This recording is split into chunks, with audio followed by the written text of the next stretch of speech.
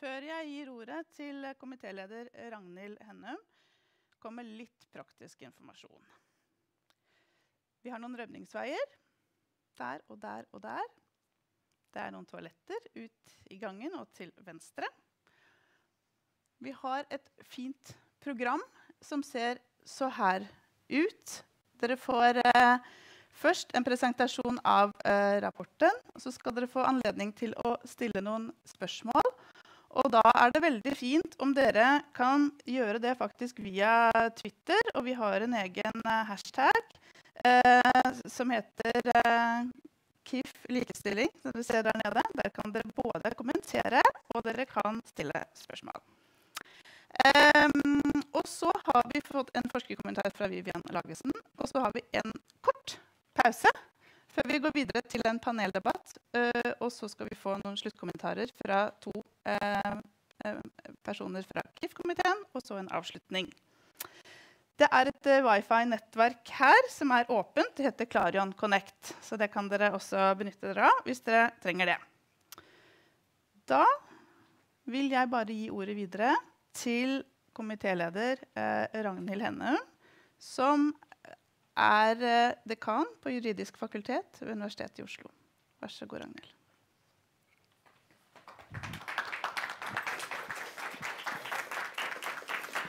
Kjære alle sammen, Uh, uh, takk for det. I, jeg skal ikke uh, si altfor mye, for vi har egentlig kommet for å høre på noen andre enn meg. Nemlig vi har kommet for å høre presentasjonen av denne rapporten den er eh, lagd av eh, Katrine Egeland og Ida Drange på oppdrag for, eh, fra eh, komiteen. Og bakgrunnen for at vi satte ut det oppdraget, var at vi hadde en undersøkelse i 2020 eh, som viste at det var veldig stor variasjon eh, hvordan eh, institusjonene i sektoren jobba med mangfold og eh, likestilling. Det var uh, variasjon i hvilke ressurser som ble satt av, det var variasjon i hvilke temaer som ble inkludert. Kjønn er bestandig med, men hvilke andre temaer man hadde med i tillegg, var det stor uh, variasjon, variasjon på. Og på bakgrunn av den eh, undersøkelsen så ønska KIF-komiteen å få mer dybdekunnskap om hvordan det arbeides i eh, sektoren. Og eh, da ble det altså satt ut et, eh, et oppdrag, en utlysning, en sånn form for anbudskonkurranse, som, eh, som eh, man jo gjør noe forskning på. Vi fikk inn fine forslag fra forskjellige institusjoner. Arbeidsforskningsinstituttet eh, var de som traff oppdragsbeskrivelsen best, slik vi vurderte det. Og det vi ønska at de skulle undersøke for oss, det var altså hvordan institusjoner innen høyere utdanning og forskning organiserer arbeidet for å fremme kjønnsbalanse og mangfold. Og det er det vi skal få presentert i dag. Det er Vi har lang erfaring i, i hvert fall på universiteter, sånne universiteter som jeg kom fra, som er Universitetet i Oslo, så har vi veldig lang erfaring med å jobbe med kjønn. Og så har vi veldig variabel erfaring med å jobbe med andre mangfoldstemaer. Og øh, vi trenger både kunnskap om det organisatoriske. Hvor mye penger bruker vi? Hvordan jobber vi? Har vi en person som gjør dette her som en heltidsjobb, eller har vi en som gjør det øh, en halvtime hver tirsdag ettermiddag? Uh, som en del av jobben. Det er stor forskjell, og det blir stor forskjell i kvaliteten på arbeidet med hvordan så uh, disse uh, spørsmålene om organisering og ressursbruk er viktig for hvor, hvordan arbeidet blir utført i institusjonene. Og det er det vi gleder oss til å få høre nå. Uh, noen funn. Det blir Vi eh, satte ut et veldig begrensa oppdrag, så man kunne ikke undersøke alle institusjonene i hele sektoren. Men eh, noen er undersøkt, og jeg tror jeg bare gir ordet eh, videre til Uh, Egeland og Drange. Eller Egeland, kanskje. Ja, uh, så uh, da skal jeg ikke gi ordet til for mange, som da får talepress på seg. Men, men da gir jeg ordet til Katrine Egeland, som skal presentere både hva dere har gjort, og ikke minst hva dere fant. Vær så god.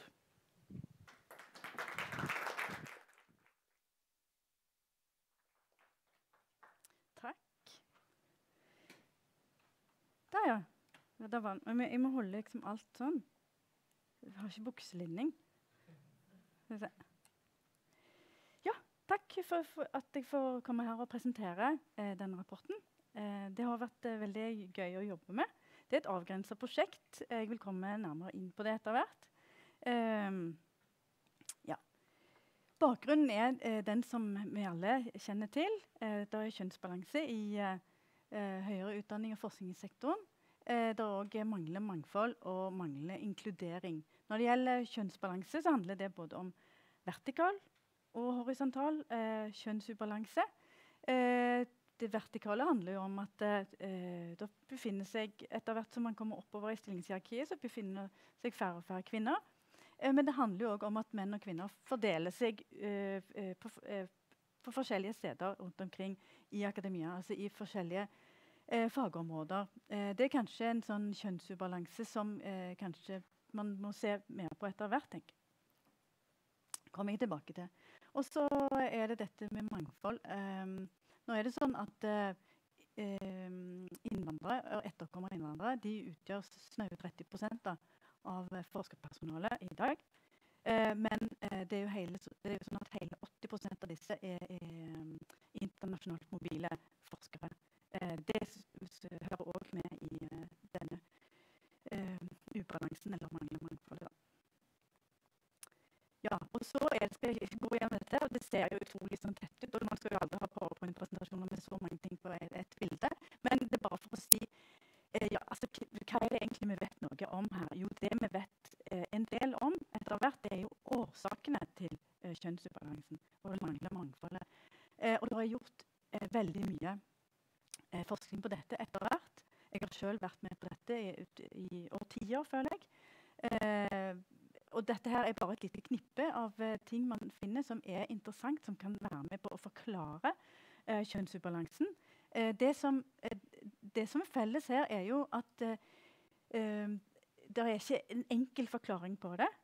det er som oftest sånn at man kommer fram til at det er komplisert. Jeg var sist nå på lansering av denne fine antologien fra Balanseprogrammet eh, for et par uker siden. 'Kjønn og akademia på vei mot balanse'. Og Da ble det nesten liksom konkludert med at ja, og det er fortsatt komplisert.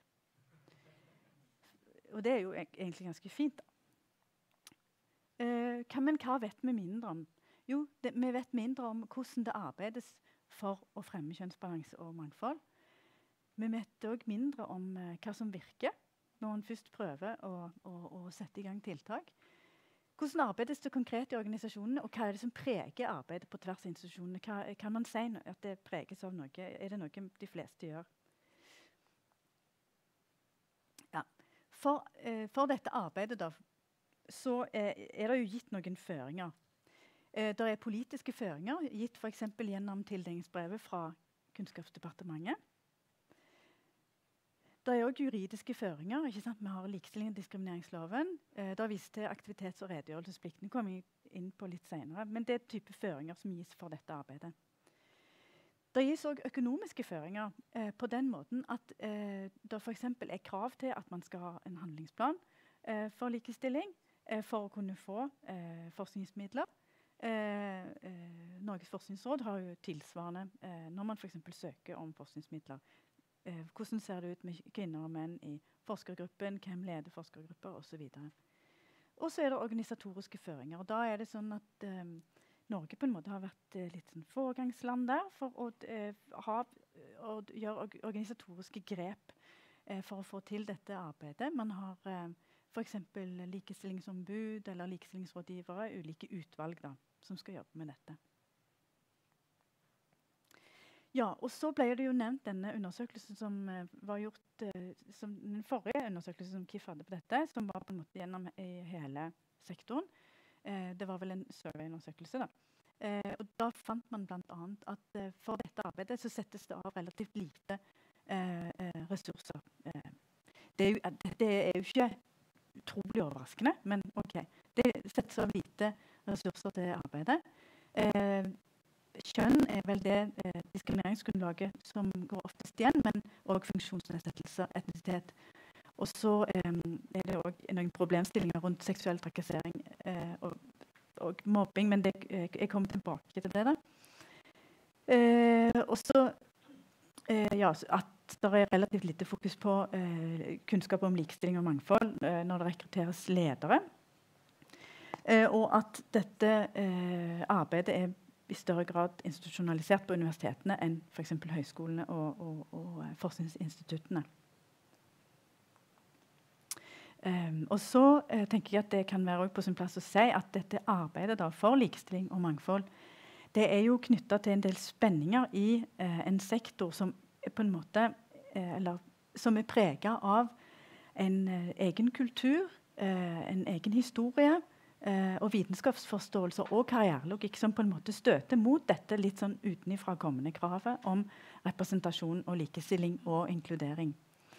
Eh, det er én type spenninger som er knytta til dette arbeidet. Det andre er at man får eh, litt en motsetningsforhold mellom veldig fokuserte eh, tiltak eh, for å bedre f.eks. på kjønnsbalanse, og eh, mer integrerte tiltak som går på organisasjonen, altså mer mainstreaming eh, mainstreama tiltak. Da.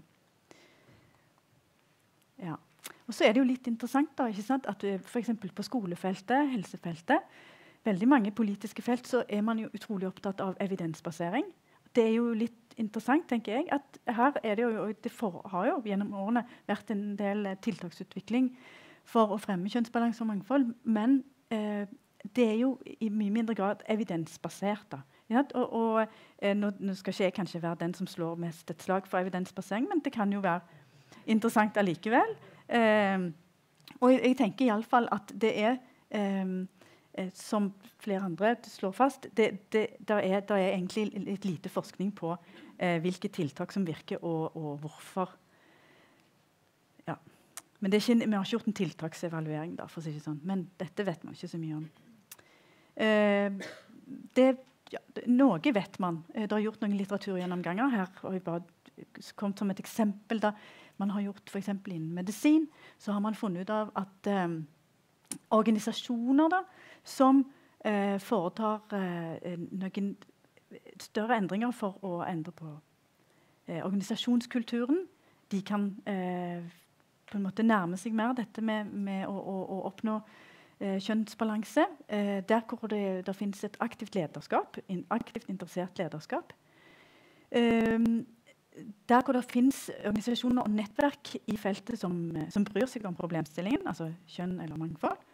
Eh, der hvor eh, kolleger allierer seg med hverandre, der, man, eh, der blir arbeidet fremma. Og så er det jo da eh, bare veldig konkret eh, der hvor det er vilje til å eh, drive med veldig direkte tiltak, som f.eks. kvotering. Der kan man òg eh, det, vil òg lette arbeidet for, eh, for kjønnsbalanse. Da. Det sier jo seg sjøl, det er jo ganske direkte.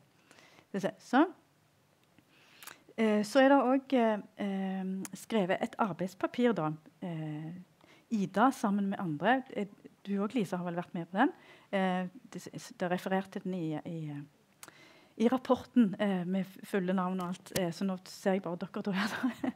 har eh, jobba med et arbeidspapir eh, basert på en studie av utvalgte universiteter i eh, Norden. Hvor man har prøvd å se på eh, hva, hva, er det man har av tiltak, og hvilke kan på en eller annen måte sies å ha en effekt da, for kjønnsbalanse.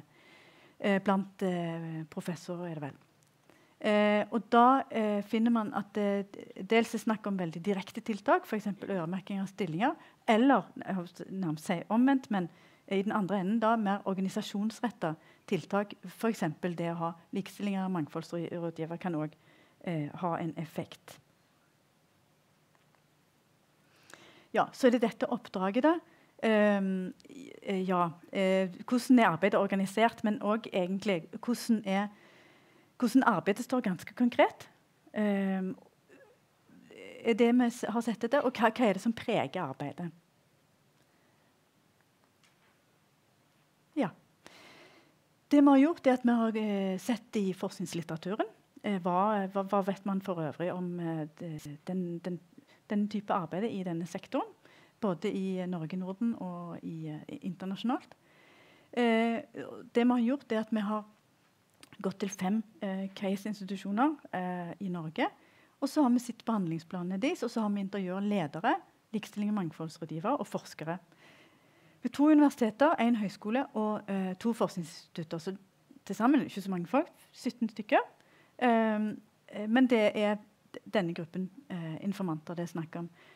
Det Vi har gjort, vi har intervjua dem om eh, hvordan de konkret arbeider for å fremme kjønnsbalanse og mangfold og inkludering. Eh, hva kunnskapsgrunnlaget for dette arbeidet er. Altså Hva slags eh, kunnskap og ressurser er det de trekker på i dette arbeidet. Eh, hvem er de samarbeider med? Har de noen eksempler på noen god praksis?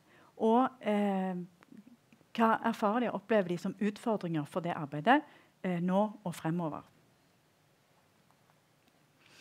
Eh, så ja, dette er superduper kvalitativt, men allikevel så er det en viss sånn, det, det, er jo et ønske om en viss geografisk spredning og, og, eh, og spredning når det gjelder institusjonsstørrelse og type. Eh, det vil si at Case-institusjoner har jo òg eh, ulike betingelser eh, for ar eh, sitt arbeid og ulike samfunnsoppdrag. De har noe ulik organisering både som institusjoner, men òg for dette arbeidet. Det kommer jeg straks inn på. Så det er viktig å si at dette er jo ikke på noen som helst måte en evaluering av eh, disse institusjonene sin måloppnåelse. Eh, og eh, så, så, egentlig det som jeg kommer til å si, har ikke fokus på én spesiell Jeg kommer til å si noe om hver enkelt institusjon, men jeg har ikke fokus spesielt på én institusjon. Eh, det er, det er blitt dette arbeidet på tvers eh, Hva går igjen, som vi har sett mest på eller fokusert mest på? Eh, og dette er da temaene kommer, som jeg skal gå gjennom nå. Eh, det er hvordan organiseringen eh, av arbeidet er ved de fem eh, institusjonene. Eh, og så ganske konkret arbeidet med, med aktivitet- og redegjørelsesplikten. arbeidet med handlingsplaner. kunnskapsgrunnlaget Um, også dette veldig interessante, viktige tiltaket, nemlig det å ha likestilling og mangfoldsrådgivere.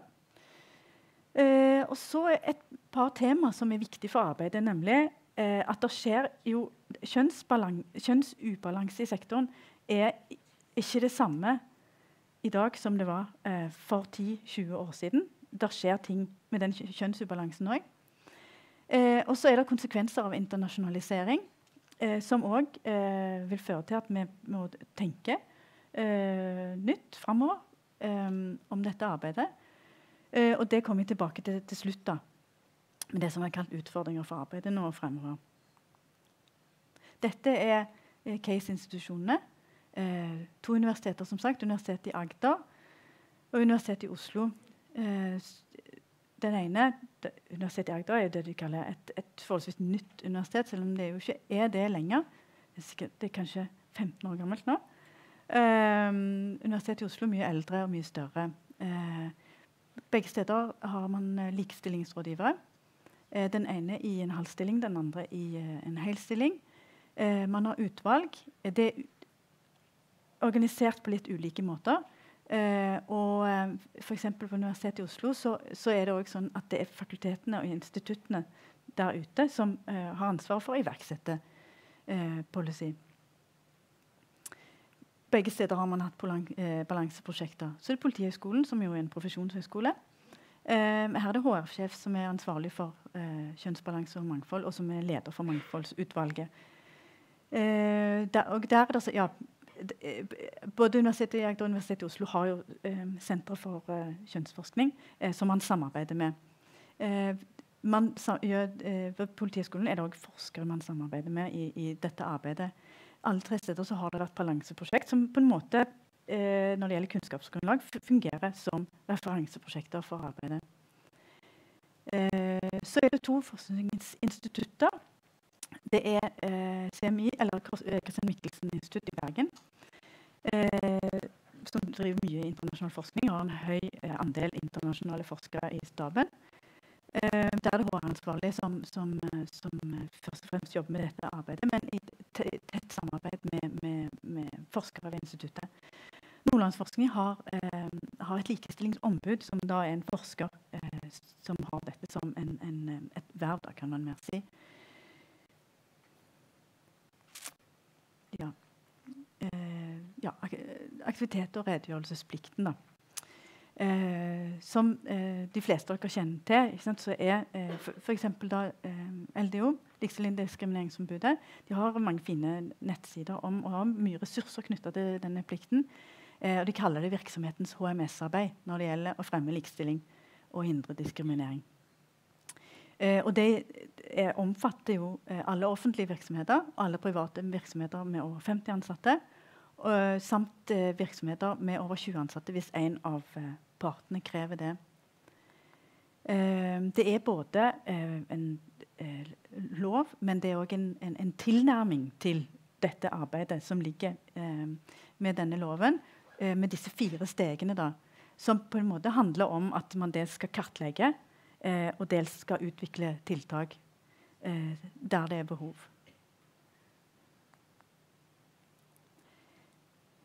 Vi spurte da eh, noen av de vi intervjua, eller vi spurte jo alle egentlig, men vi spurte hva, hva um, hvordan oppleves dette arbeidet? Um, og da uh, ble det bl.a. beskrevet på denne måten eh, at ja, det kan jo være nyttig med et eh, At man innimellom eh, gjør et bokettersyn. Eh, for å se, liksom bare se på hvordan er tilstanden ved institusjonen. Men eh, alt i alt så er det jo eh, ganske overflatisk. Og man kommer jo ikke egentlig ned til hvorfor er det som det er. da. Hvorfor har man f.eks. kjønnsubalanse? Eh, til det er ikke en sånn eh, byråkratisk øvelse nok. Og det er vel kanskje òg sånn som har vært f.eks. min tilnærming til dette før jeg begynte å intervjue folk i dette prosjektet. Fordi eh, så snakket jeg eh, med eh, da, de som er likestilling- og, og mangfoldsrådgivere, og som jobber kanskje med HR da, ved disse institusjonene. Eh, og da eh, fikk jeg høre at eh, arbeidet med aktivitets- og redegjørelsesplikten er utrolig viktig. Det, er, det, er, en måte å skaffe eh, hele arbeidet for kjønnsbalanse og mangfold en stor grad av systematikk. Det er en måte å fordele ansvar på, det er en måte å synliggjøre arbeidet og det er en måte å skape læring på internt i organisasjonene. Og det har spesielt god effekt når eh, arbeidet med, med eh, både rapportering og handlingsplan når det kobles til andre organisatoriske prosesser for å få eh, eh kjønnsbalanse og mangfold. Eh, som en av de sier Aktivitet og redegjørelsesplikten arbeider med handlingsplaner skaper et handlingsrom for læring i organisasjonen. Derfor er det viktig. Eh, ja, så kikker vi jo på eh, handlingsplanene. Hvis man bare ser på handlingsplaner eh, på de ulike institusjonene, så kan det jo være eh, litt frustrerende innimellom å lese, fordi det er så veldig mye sammenblanding av eh, ønska situasjon og reell situasjon. Sånn at Man sier ofte hva man har som verdier eller idealer ved eh, institusjonen, i samme åndedrag som man forteller at situasjonen er allikevel ikke helt som man har eh, ønska seg når det gjelder f.eks. kjønnsbalanse. Da.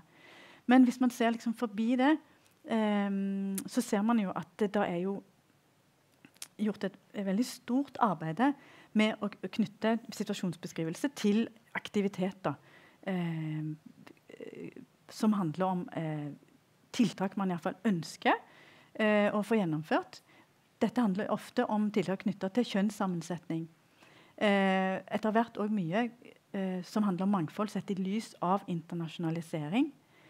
Eh, og eh, i det siste har det vært mye fokus på tiltak mot mobbing og seksuell trakassering. Um, det er vel fremdeles relativt lite fokus på funksjonsnedsettelser.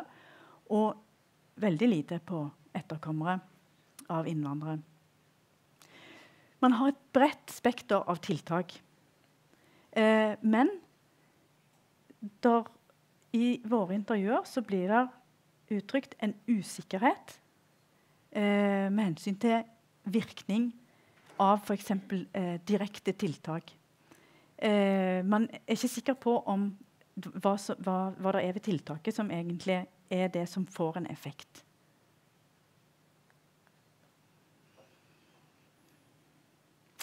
Når det gjelder kunnskapsgrunnlaget eh, for arbeidet, så eh, eh, trakk informantene fram eh, forskning. Eh, balanseprosjekter som er gjennomført i sektoren, blir gjerne brukt som referanseprosjekter. Funn derfra. Eh, men òg statistikk og KIF da trukket fram. det er andre eksterne ressurser som brukes eh, gjerne LDO, men òg eh, Bufetat. Igjen KIF. Eh, og nettverk av likestillingsrådgivere. Eh, det ble nevnt en haug av kurs som folk har gjennomført. Jeg husker ikke akkurat nå. Dessverre hva de heter. De heter noe med rosa kompetanse. Ja, Ty, altså, en del kurs som eh, man gjennomfører og har hatt stor eh, glede av. Um, så er det noen ting noen, som ikke på en måte handler om kunnskapsgrunnlaget direkte, men som er viktig for arbeidet, ikke desto mindre. Eh, noe av det handler f.eks. om eh, momenter, begivenheter i sektoren som kan skape oppmerksomhet om arbeidet. Og da, selv om det er eh, eh både trist og dramatisk, så er det f.eks. sånn at hele eh, metoo-debatten har òg vært med på å skape noe oppmerksomhet om eh, kjønnsubalanse i, i, i akademia òg. Eh, så fremholdes det som eh, veldig viktig, og det er kanskje i tro med eh, antakelse som jeg tror har festa seg, det er at ledelsesengasjement eh, det at interessert og engasjert, er òg viktig for dette arbeidet. Um, da kan vi se at eh, ved våre case-institusjoner så eh, stemmer det eh, veldig godt. Der er ledelsen ikke bare engasjert, men har god kunnskap om arbeidet òg. Noe det viser seg at flere av de hadde fra før de ble ledere. Så dette er, kan man da kanskje kalle en, en genuin interesse og engasjement òg. Så ble det da til slutt eh, gjerne sagt, etter at man hadde snakket om eh, hvor mye, eller hvilken type kunnskap man trakk på, så eh, kom man da fram til at ja, og så har vi jo kanskje noen ting vi gjør som handler litt om vaner og tradisjoner òg. Og gjerne hva man har hørt at andre driver på med. Eh,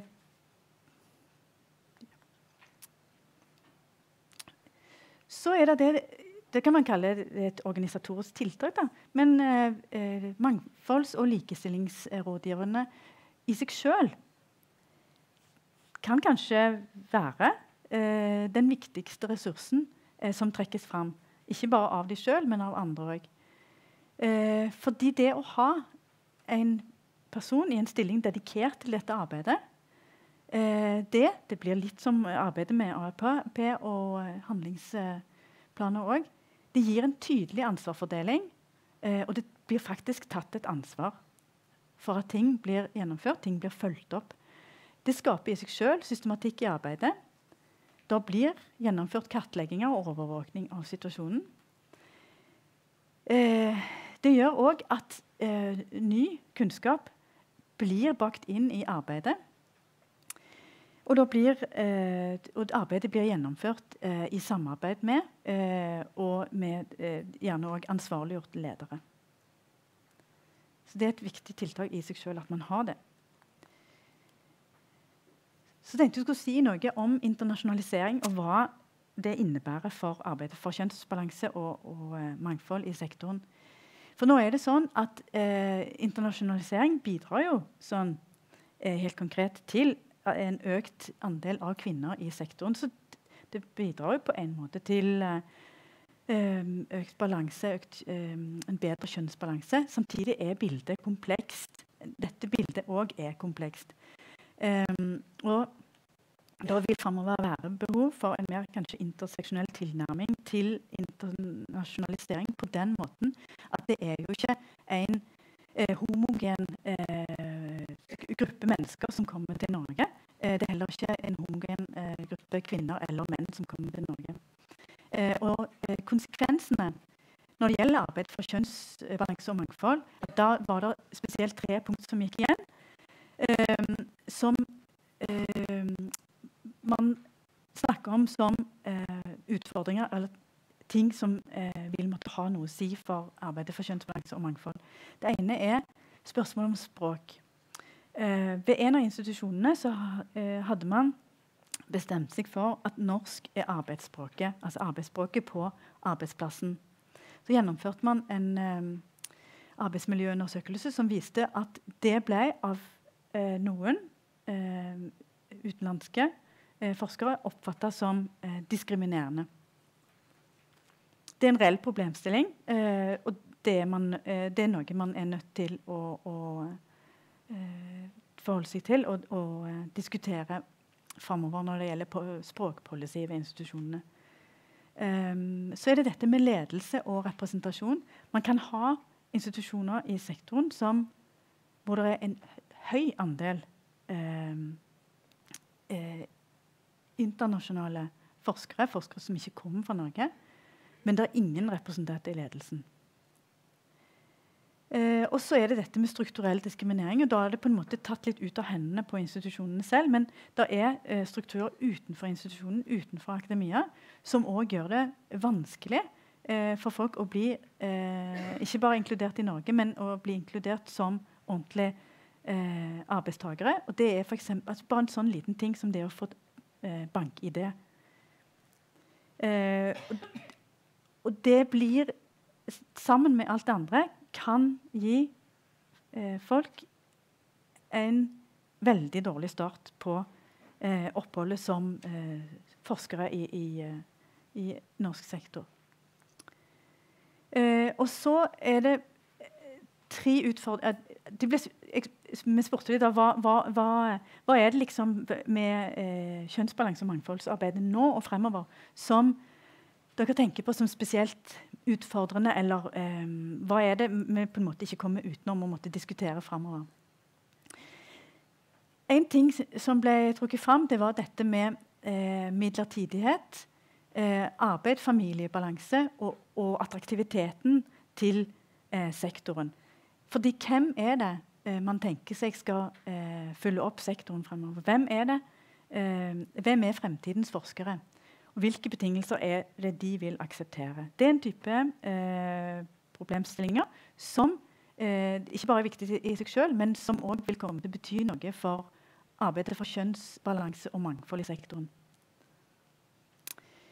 Eh, og så er det dette med en eh, ny eh, kjønnsubalanse. Det er ikke sikkert man kan kalle det ny kjønnsubalanse, og det er ikke sikkert det er en kjønnsubalanse heller.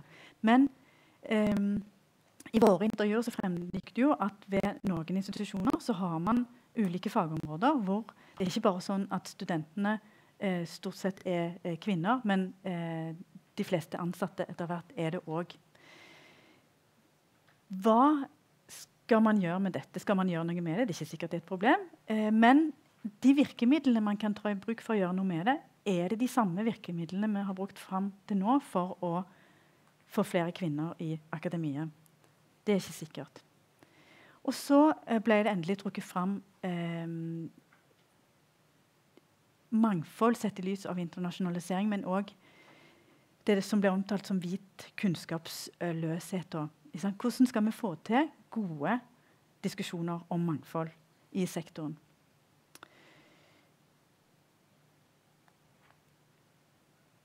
Til slutt Tusen takk for meg.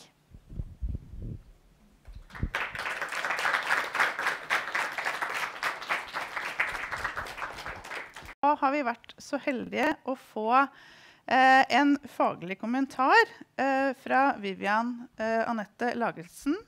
Hun er professor eh, i teknologi og vitenskapsstudier ved Institutt for tverrfaglige kulturstudier ved NTNU. og Det har hun vært siden 2009. Hun er utdannet sosiolog med en eh, ph.d. fra NTNU. eh, og med utdannelse fra Universitetet i Oslo og Universitetet i Edinburgh. Vivian har forsket eh, på likestilling og akademia over lang tid. Hatt flere balansetildelinger og sitter eh, bl.a. Eh, i utvalget for likestilling og mangfold ved NTNU. Og hun har publisert opptil flere artikler eh, på dette området. Og jeg kan bare nevne et par av de siste publikasjonene eh, som uh, lag, uh, Vivian har gjort. Um, How heads of departments find it meaningful to engage with gender balance policies. Uh, og en som Vivian og uh, Ivana Subotiki har skrevet. Top Department heads enacting gender balance policies, navigating voices of ambiguity and concern. Med bakgrunn i de to titlene uh, så værer jeg kanskje uh, et lite fokus på ledelse. vi har bedt Vivian å gi denne forskerkommentaren se litt på hvordan er en norsk situasjon, basert på funn i undersøkelsen, men også sett opp mot forskningen for øvrig. Eh, hva må vi ha fokus på framover? Og hva er anbefaling til KIF og sektoren? Vær så god, eh, Vivian. The floor is yours.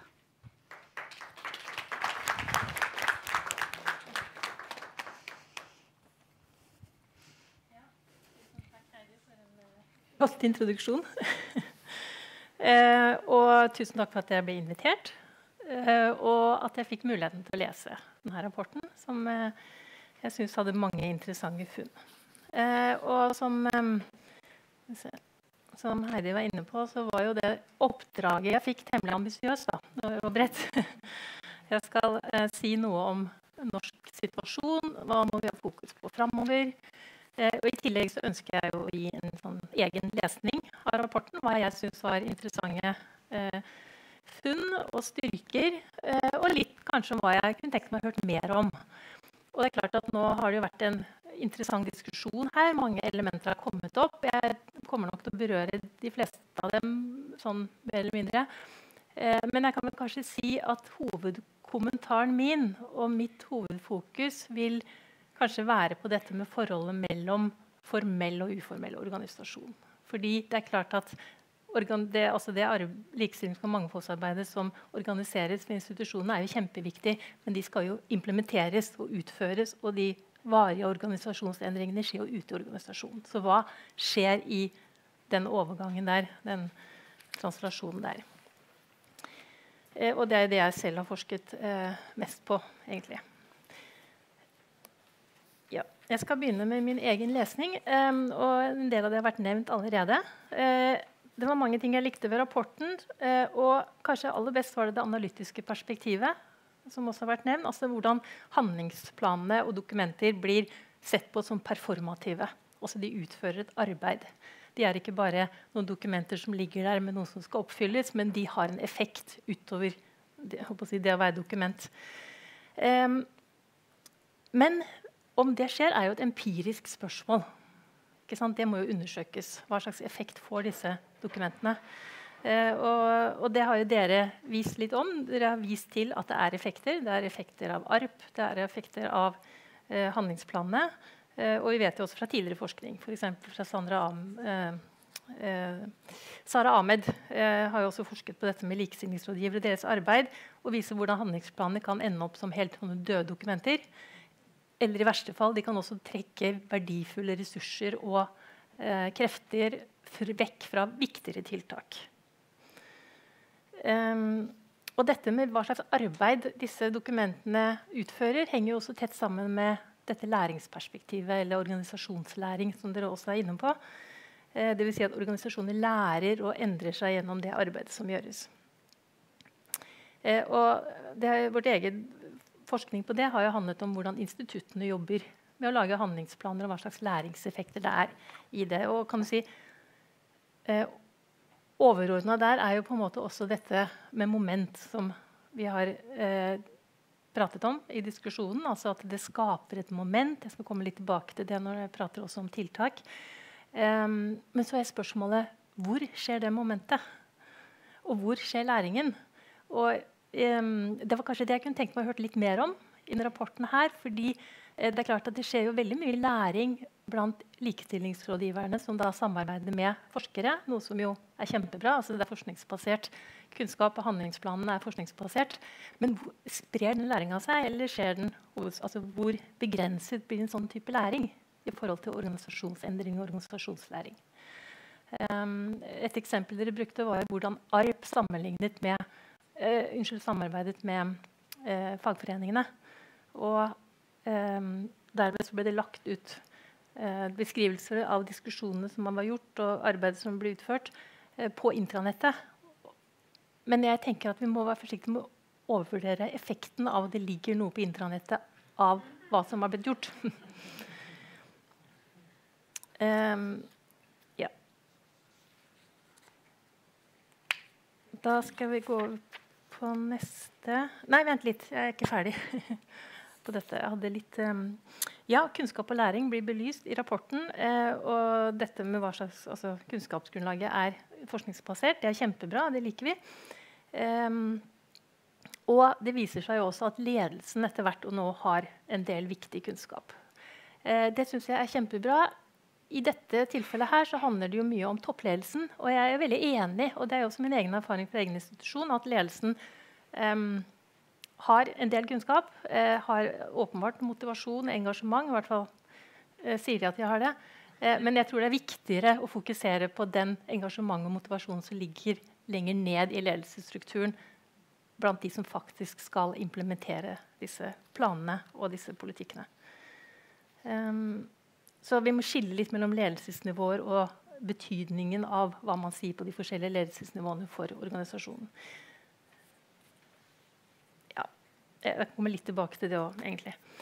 Eh, og så er det dette med som dere var inne på, at en del tiltak gjøres av gammel vane. Det er en del tiltak som alle institusjonene gjør regelmessig, som har fått en slags sånn fotfeste, som mentorprogrammer, eh, startpakker, kvalifiseringsprogram osv. Um, problemet blir jo selvfølgelig når de blir så dominerende at uh, de tar alt, alle ressursene og fokuset vekk fra mer uh, skreddersydde tiltak som kunne vært mer effektive. Um, så tiltak må skreddersys og på, på lav, lavere nivå i organisasjonen. Det er liksom hovedmantraet mitt, da, eller vårt har vært i vår forskning. Da er det neste slide. Ja, det var meg, ja. Mm. Eh, se vekk fra den der eh, hashtagen der. Eh, hva er den norske situasjonen i lys av funnene i rapporten og forskningen for øvrig? Jeg tenker at Her er det to veldig dominerende narrativ. Det ene er det politiske narrativet, som har blitt mye diskutert i annen type forskning òg, hvor det alltid ting blir bedre. Ting blir bedre og bedre, eh, og vi går alltid fremover. Eh, det andre er forskernarrativet, som eh, etter min mening ofte er kanskje litt for opptatt av å se på alt det som ikke er bra, og det som ikke funker i motsetning til å ha fokus på faktisk de tingene som er positive eller har potensial. Så hva er riktig svar? Det er jo selvfølgelig begge deler. Eh, det er jo komplekst. Eh, hvis vi ser på faktagrunnlaget, så har altså kvinneandelen, eller kjønnsbalanse, kjønnsbalansen på professornivå den har økt fra eh, 19 til 32, nei, unnskyld, 13 til 32% fra 2000 til 2019. Det vil en økning på 1 eh, prosentpoeng i året, og det er bra. Hvis vi ser under de aggregerte tallene, så ser vi at det er veldig store forskjeller mellom fagfelt, mellom disipliner og også mellom institutt. Um, og det betyr, som også nevnt i rapporten, at uh, enkelte fag er i ferd med å bli kvinnedominert eller står i fare for å bli det i fremtiden med tanke på studentrekruttering. Uh, mens andre fagfelt ikke oppnår noe framgang i det hele tatt. Så det blir altså en polarisering og en segregering. Og det eh, ønsker vi jo selvfølgelig ikke.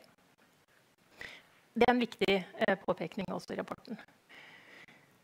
Eh, så nevnes det at ja, at det er ikke altså Det er tatt i bruk mange virkemidler. Det er tatt i bruk mer virkemidler i Norge enn det er i de andre nordiske land. Eksempel, og det er en viss type virkemidler som er tatt oftere i bruk i Norge. F.eks. dette med individrettede tiltak. Og jeg skal komme litt tilbake til den der todelingen eller den der forholdet mellom det som kalles individrettede tiltak og eh, organisasjonsrettede tiltak. Og det er som de fleste har vært klar over, mindre forskning på mangfold. Det er i ferd med å komme. Men eh, eh det som var interessant, var at eh, og det tror jeg er veldig riktig, at det her nå oppfattes som mye mer viktigere og presserende på i organisasjonen. Da. Også i den si, uformelle organisasjonen. Og da tenker jeg på den vitenskapelige eller faglige delen av organisasjonen, og ikke administrasjonen.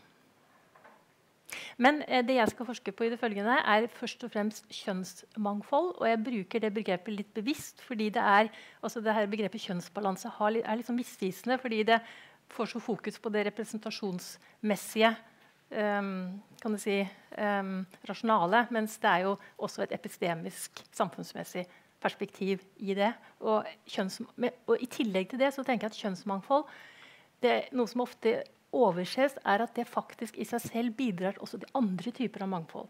Fordi det øker takhøyden, og det gjør det lettere å være forskjellig også på andre måter. Så kjønnsmangfold, kjønnsbalanse, er et mangfoldsaspekt eh, i det.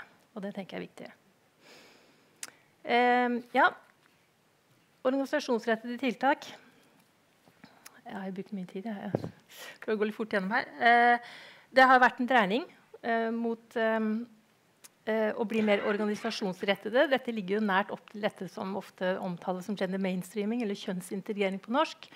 Eh, som har gitt, blitt gitt veldig mye innhold, men som kan sånn, kalle, altså, hvert fall være, altså, er, sånn som det blir praktisert i, i Norge, i hvert fall, en ovenfra-ned-strategi med mål om at eh, kjønnsperspektiver skal integreres i alle beslutninger og all politikkutforming. På alle nivåer i organisasjonen, eh, blant alle ledere. Og det, hensikten med det er jo si, et moralsk eh, aspekt, nemlig at eh, si, problemene skal plasseres i organisasjonen og systemet snarere enn hos de som omfattes av tiltakene, kvinner.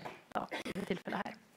Eh, men det er også fordi at det er en, en mer effektiv måte å skape varige endringer på. fordi det har det er mer innflytelse i det beslutningstagere og folk med makt gjør. Da, de beslutningene de tar. Så det er en større sannsynlighet for at de skaper større og varige endringer.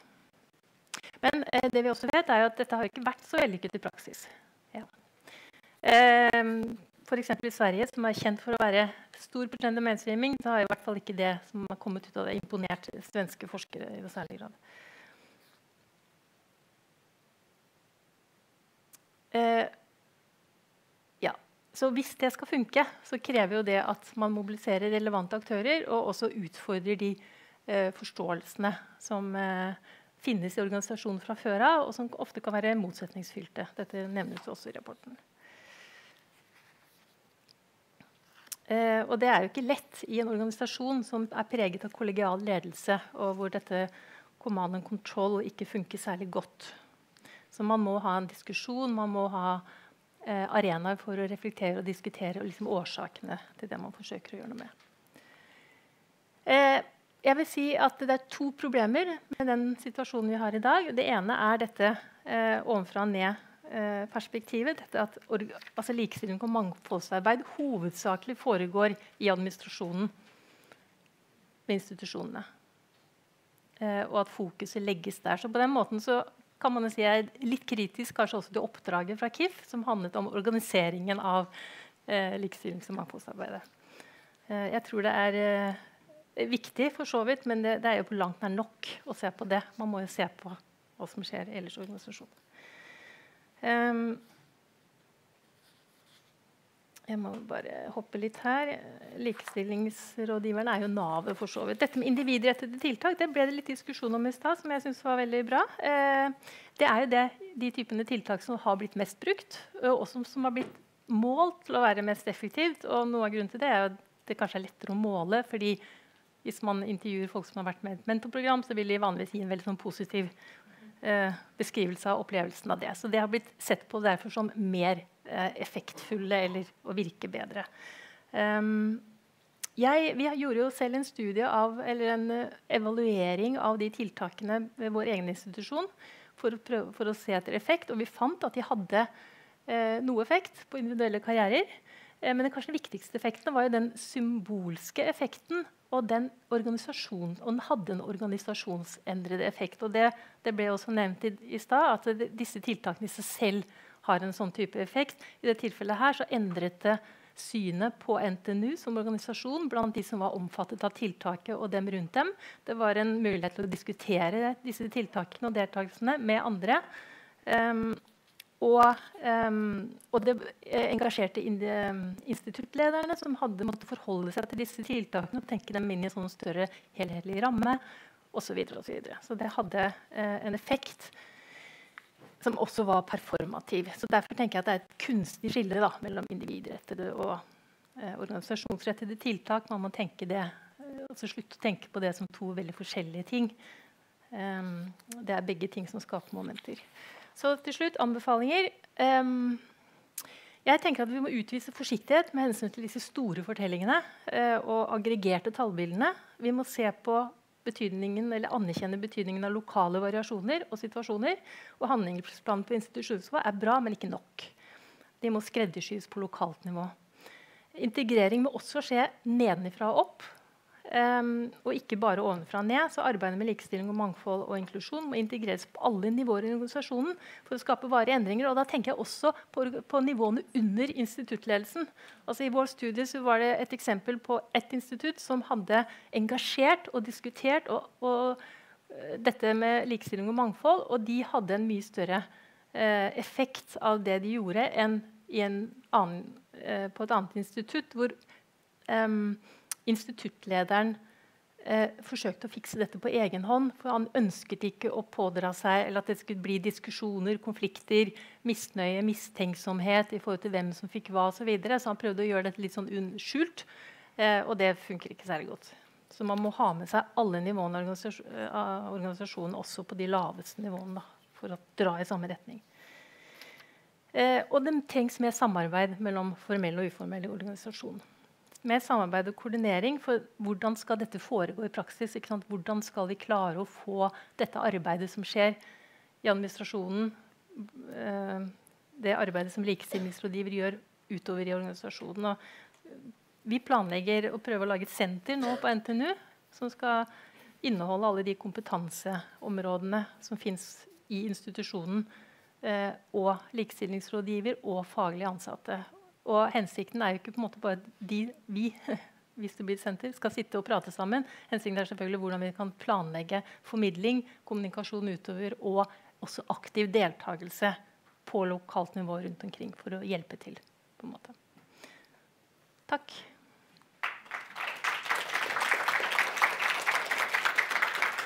Tusen takk, eh, Vivian. En liten sjokolade oh, ja. koser deg med til jul. Da er vi i del to av uh, dette programmet, og nå ventes det en uh, paneldebatt. Og jeg har uh, den glede av å introdusere Tove Håpnes, som skal lede paneldebatten for oss. og vi stiller spørsmålet hva skal til for at likestillingsarbeidet ved institusjonene når målene om likestilling og mangfold, bl.a. Litt om Tove. Tove er forskningsleder i avdeling for teknologiledelse ved Sintef i Trondheim. Og hun har i mange år vært seniorforsker ved samme institusjon og jobbet med forskning om kunnskapsvirksomheter, organisasjon og ledelse. Tova er også komitémedlem eh, i andre periode for KIF-komiteen og hun eh, har vært med i ressursgruppa for dette forskningsoppdraget. Så vær så god, Tove. Da er eh, panelet ditt, som du kan få introdusere videre. Tusen takk. Det skal vi snart komme inn på. Jeg har bare lyst til å si noen ord før vi starter. Og det ene som ble påpekt tidligere i dag, eh, da AFI-rapporten ble presentert, det var et, egentlig et lite oppdrag der det er fem eh, institusjoner med. Og veldig bra er det, men et poeng med at vi har eh, invitert folk til å være med i en paneldiskusjon, det er også at vi utvider med litt flere institusjoner. Dvs. Si at vi trekker på litt flere erfaringer med å jobbe med tematikken som vi diskuterer i dag. Og så er det sånn at Hver enkelt her har lang fartstid. De kunne ha holdt på i tre-fire-fem timer og snakka om det her. Og det har vi ikke sjanse til. Så det er highlights. Og jeg kommer også til å være litt sånn eh, på eh, alerten og stoppe dere hvis dere drar på de lange reisene. For det er veldig lett å gjøre det. Eh, dere sitter med et eh, hav av erfaringer over mange år. Og vi skal også prøve å få til litt nerve i diskusjonen. Jeg har lyst til å starte med deg, Vibeke Horn. Du er programansvarlig for kultur og mangfold ved Oslo OsloMet. Sertifisert mangfoldsleder. Og I tillegg så leder du universitetets mangfoldskomité, dvs. Si OsloMet-universitetet. Da har jeg lyst til å høre med deg eh, hvilke sentrale tiltak er det som du har lyst til å, å trekke fram her i dag i handlingsplanen og i arbeidet deres med økt kjønnsbalanse og økt etnisk mangfold Oslo OsloMet? Og hvordan jobber dere konkret for å få de her tiltakene til å bli virksomme? Tusen takk. Før jeg sier noe om det, skal jeg ikke ta dere med ut på en lang reise. Men jeg har lyst til å si litt om den konteksten vi som dette såkalte Nav i likestillings- og mangfoldsarbeidet, eh, likestillingsrådgiverne, jobber i. Spørsmålet som ble stilt i den rapporten, var preget arbeidet for kjønnsbalanse og mangfold blant høyere utdannings- og forskningsinstitusjoner. Jeg begynte å jobbe med dette for ni år siden. Da var det nesten litt radikalt å snakke om mangfold i tillegg til kjønnslikestilling. Vi står i dag i en kontekst hvor vi jobber med tolv diskrimineringsgrunnlag. Sammensatt diskriminering, interseksjonalitet, kjønnsbasert vold, seksuell trakassering. Vi har skjerpede krav fra EU og Norges forskningsråd på at vi skal ha gender equality plans, oppfylle det ene og det andre. Eh, og eh, vi, vi, har vært i en situasjon med korona noen år hvor vi igjen ser at dette feltet kanskje får igjen vikeplikt, som det gjerne gjør i krisetider. Så det er et stort arbeid vi står i, med ganske egentlig få, eh, få ressurser. Til eh, ditt første spørsmål. Mm. Eh, sentrale tiltak i handlingsplanen som går Eh, på arbeidet for økt kjønnsbalanse og økt etnisk mangfold. Kan nevne et viktig, Vi har et tverrgående team bestående av eh, alle Oslo Mets rekrutterere. De mm. blir gitt innføring og opplæring i likestilt rekruttering. Hvordan sikrer vi god kjønnsbalanse i alle stillingskategorier, som er et mm. mål vi har innenfor et slingringsmål 60-40. Nå er det jo klart at det kan være utfordrende. Vi mm. jobber ved Norges såkalt mest skjønnede universitet, mm. hvor du har et forholdstall som kan være oppi 80-20 og, mm. og, verre enn det. Så det er jo ingen enkel utfordring. Når det gjelder toppstillinger, så har jo vi det litt motsatte problemet. Altså, om ikke problemet, men eh, eh, i forhold til en del andre universiteter og høyskoler, hvor vi har 56% kvinner mm. i eh, akademisk toppstilling, altså professor, dosent og forsker igjen. Så våre mentorprogrammer er åpne altså for både kvinner og menn, og skisserer jo litt den utviklingen som også blir beskrevet i rapporten. Mm. At sånn typisk kvinnerettede tiltak mer blir tiltak for alle kjønn. Mm. Sist vil jeg nevne lederprogrammer. Hvordan mangfold, mangfoldsrekruttering osv. Eh, nå inngår i våre lederprogrammer for nye ledere, forsknings- eh, og utdanningsledere eh, osv. Og så ser vi jo da i disse likestillingsredegjørelsene som vi må gjøre òg eh, annethvert år, hvordan ligger vi an i, i, i, ulike kategorier, for å nevne noe. Mm.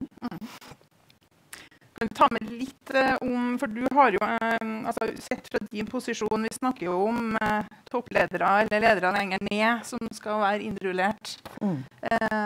Hva med din posisjon, betydningen den har i arbeidet? Det der er jeg veldig enig med det Vivian sier. Det kan bli litt topptungt. Klart toppledelsen Man kan jo ikke si noe annet. Man er for mangfold, det er fint. Men hva skjer faktisk der ute? Hva er effekten? Og mm. Derfor er det viktig å få dette inn i lederprogrammer for alle ledere mm. eh, på, på, alle nivåer. Det er det mm. ene. Det andre handler jo om kulturbygging. En litt sånn spesiell miks som vi kanskje har gjort på Oslo OsloMet. Jeg er programansvarlig for kultur og mangfold. Så vi har en rekke eh, arrangementer, tiltak året igjennom, hvor vi kobler mer sånn organisasjonskulturbyggende tiltak eh, opp mot ulike tematikker innenfor mangfold. Det kan være alt fra bokbad med Seshan Shakar om klasse og tilhørighet og utenforskap og rasisme koblet opp mot å involvere forskermiljøer, ha debatter osv. Så, videre. så en um, klar kobling mellom det å bygge en inkluderende organisasjonskultur er òg en del av dette. Mm. Bra. Eh, da skal vi bevege oss litt eh, over til Linn eh, Nygaard. Du er spesialrådgiver ved PRIO. Du var en av de første som fikk kjønnsbalanseprosjekt i kjønnsbalanseprogrammet i Forskningsrådet. Og du har jobba i mange år med det med å skape kjønnsbalanse. Det med å på en måte jobbe fram tiltak som er effektive for eh, forskerkarriereveien for kvinner. Eh, og så har du en, din egen spesialisering og ph.d. innenfor publisering. Og det har jo også vært et uh, viktig stikkord inn i arbeidet ved PRIO. Det jeg har lyst til å stille spørsmål om i dag, det er at um, dere har jo i mange år vært et eh, forskningsmiljø med folk fra flere verdenshjørner. Altså dere har en sammensatt etnisk mangfold. Det er ikke noe nytt. Eh, men hvilke utfordringer og tiltak er det dere griper fatt i nå eh, for å styrke mangfoldet som ressurs ved PRIO? Jeg måtte tenke veldig mye gjennom disse spørsmålene. Uh, først fikk dem. Men først skal jeg si at vi har noen fordeler. Vi, vi, uh, på PRIO vi studerer krig og fred og sånn. Og det er, den inviterer til et ganske bredt internasjonalt samarbeid. Vi har hatt engelsk som arbeidsspråk i mange år. Og vi har hatt ganske mange folk fra mange land som kommer inn og ut av PRIO. Så vi, vi, har hatt mye Jeg vil ikke si det gratis, men, men det, er ikke, det er ikke nytt for oss å tenke på mange av disse spørsmålene. Men så begynte jeg å tenke på som, hvordan vi har gått frem i vår arbeid. Og jeg, jeg må spole tilbake til, uh, til, da EU kom med en regel vi måtte ha gender equality plan. Og vi var litt sånn åh, må vi ha enda en dokumentasjon? Så vi bestemte vi, ok, vet du hva, vi, vi skal være litt sånn frampå og bruke dette her som som hjelper oss. Og vi bestemte med en gang at det skal være gender and, and diversity. Mm. Uh, gender uh, equality and diversity plan. Så vi heter Get Up, og vi ville lage denne Get Up-stand. Ja, okay. um, ja, vi syntes det var skikkelig kult.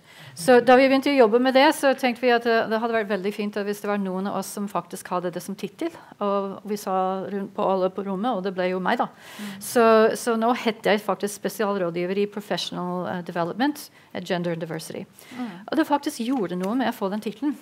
Fordi jeg tenkte først det, det, var bare for å få EU til å være fornøyd. Um, akkurat som det dokumentet, Men å jobbe med det dokumentet og, jobbe, og, og faktisk ta ansvar selv, det, det, det gjorde noe med, med, meg og måten jeg jobber på. Mm. Men nå har jeg tenkt å nevne tre utfordringer og kaste liksom små brannfakler. Hva som er uh, det, det, som vi har gjort. For det første, når vi jobbet med den GDAP-en, var å tenke på hvordan oppfatter vi som er viktig med mangfoldet. Akkurat det spørsmålet why do we do this? Det var det første vi gjorde.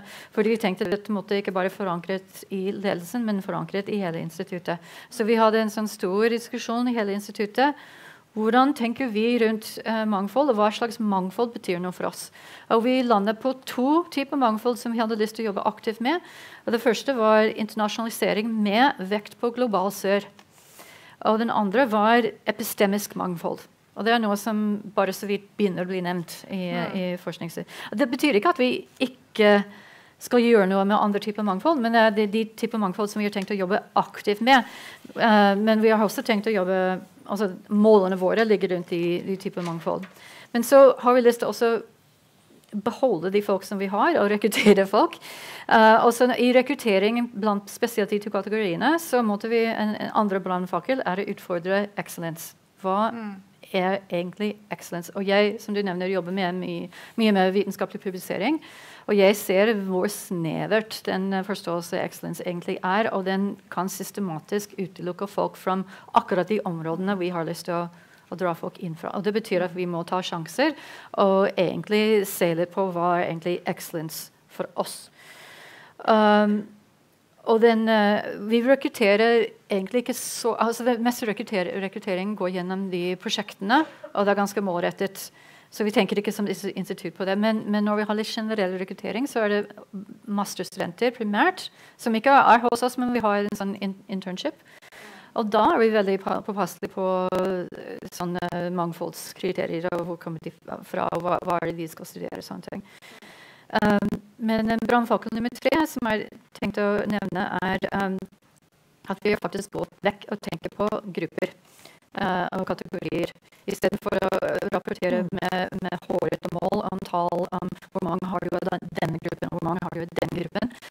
Det ble så fryktelig vanskelig, bl.a. fordi min, min egen forskning. En av de første spørsmålene jeg gikk til stilt mens jeg først tenkte å, det er kanskje litt viktig å vite hva slags morsmål folk hadde.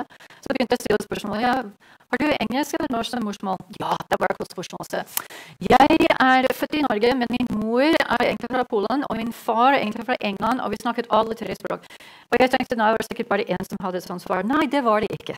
Det var veldig mange, så jeg måtte bare gi opp med det spørsmålet. Og det, det var veldig tidlig antydning på at mange av de tallene som vi skal mm. føre opp, er på en måte meningsløst. Så hvordan skal vi telle mangfold, mangfold? Skal vi telle pass som folk har? Skal vi telle, skal vi måle hudfargen? Skal vi, eh, hvordan, eh, hvordan, skal vi Hvilket språk de snakker?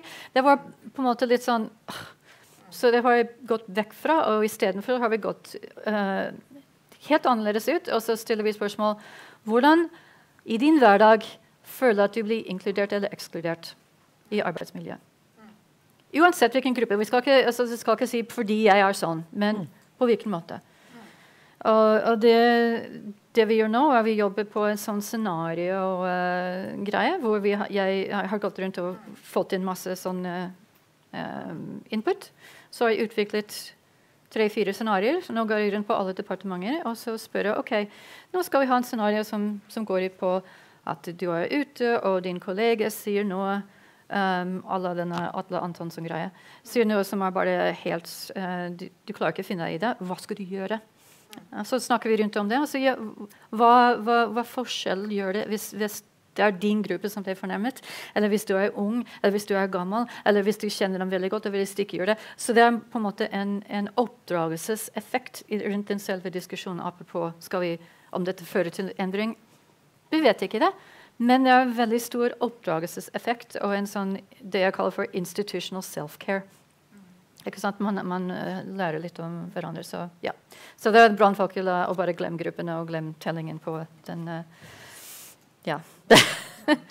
ja, det var det jeg skal si om de, det spørsmålet. Kanskje er det litt typisk norsk å være glad i å kategorisere. Ja, men det er så innmari vanskelig. Selv ja. menn og kvinner går ikke an lenger. Mm. Ikke sant? Folk, ja, men Hva med ikke-binære? Og så skal vi grunn til å spørre. Mm. Uh, hva er du egentlig? Ikke sant? Mm. Det er jo på en måte mm. veldig påtrengende og ganske private spørsmål som man går inn på. Så nei. Mm. Det Bra. Uh, Lisa, jeg har lyst til å stille også deg eh, et spørsmål. Men først har jeg lyst til å fortelle litt hvem du er. Mange her kjenner uh, men ikke nødvendigvis alle. Eh, du har eh, mange års erfaring som leder, bl.a. ved Catalyst. Og du har bistått eh, mange selskaper, både innen privat, offentlig sektor og også humanitær sektor, med organisasjonsutvikling knytta til mangfold.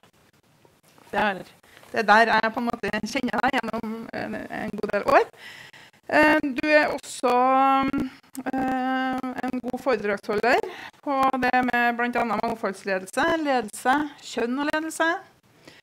Og per så er du også styreleder ved Arkitektur- og designhøgskolen i Oslo. Og da Og da har jeg lyst til egentlig som ditt første spørsmål til deg. Eh, altså, hvilke føringer kan et styre og en styreleder bidra med for å få en akademisk institusjon til å jobbe fram økt eh, mangfoldsbalanse. Tusen takk, og takk for anledning å være her. Eh, som det kanskje eneste ikke-akademikerne, men eh, en litt mer praktiker, og en som elsker eh, styrearbeid. Men jeg skal starte med en morsom historie. på grunn Jeg er nå styreleder i AHO, men jeg var før i styret i fire år. Mm. Første år Jeg satt i styret første gang vi får opptaksrapport. Hvor, hvor kommer alle studentene fra? Og hvilken studie og hvor mange har sløyset seg gjennom. Og så begynte jeg å se litt sånn ned i statistikken på hvor de bodde. det var eh, riktignok ikke om de var hvite eller ikke hvite, men du kunne se om de hadde utenlandsklingende navn. Og så satt jeg der i et, ene av mine, kanskje tredje styremøte. Jeg ble dødt sjokkert over hvor utrolig hvit og vestkantaktig arkitekt- og designhøyskole var. Så jeg ærlig talt satt der med papirene sånn og bare så litt oppover og tenkte Hva skal jeg si? Jeg er de eneste brune i, i styret, selvfølgelig. Men vet du hva som skjedde, som jeg er dead imponert på? De begynte å se oppover også, så på meg, og sa Kanskje vi skal gjøre noe med det tallet der, Lise. Eh, så representasjon var viktig. Og bare i kraft av at jeg satt i det rommet. Mm. Og vet du hva som skjedde etterpå? Da var det en kjempestor rekrutteringsprosjekt. Hvor de gikk ut til en, og fikk konsulentstøtte for å faktisk mm. lage en kampanje. For å gå ut, for å være målrettet. For å gjøre egentlig akkurat som aktivitet og rapporteringsplikt sier man skal gjøre.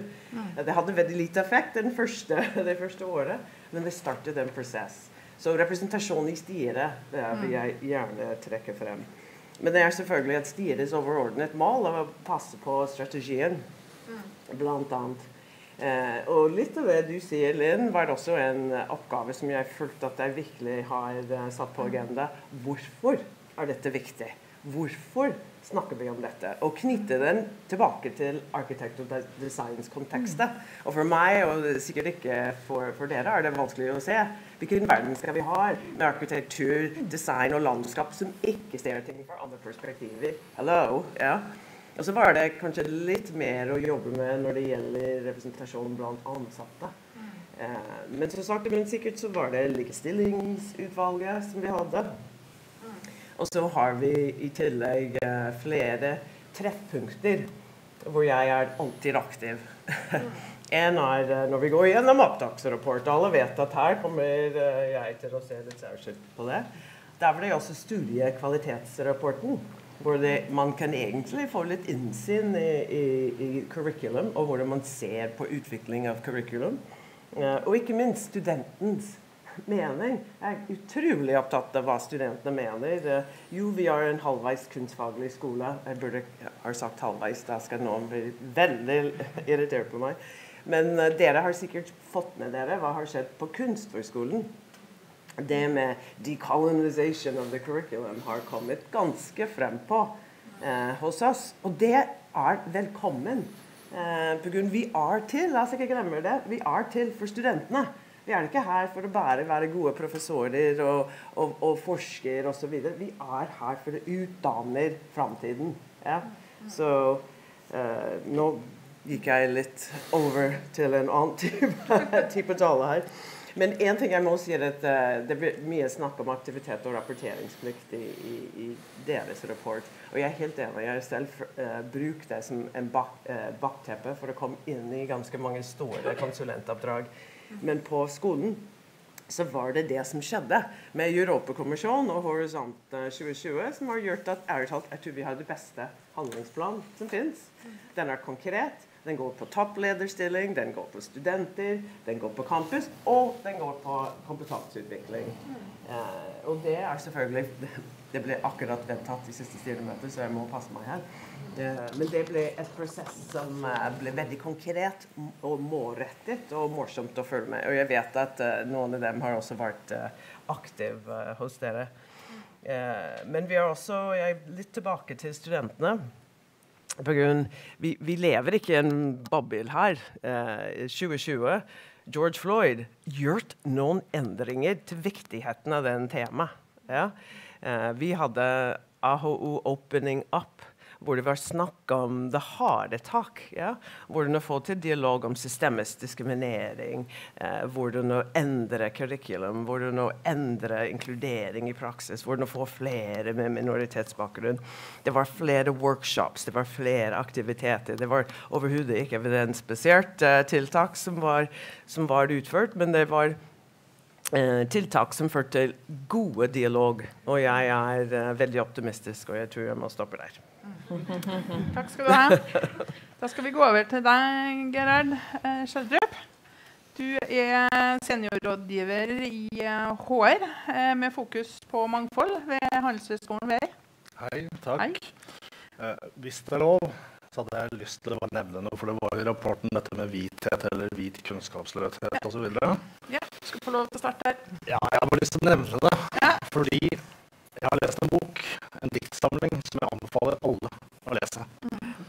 Som heter 'Hvit norsk mann', og jeg har ingen økonomisk interesse her.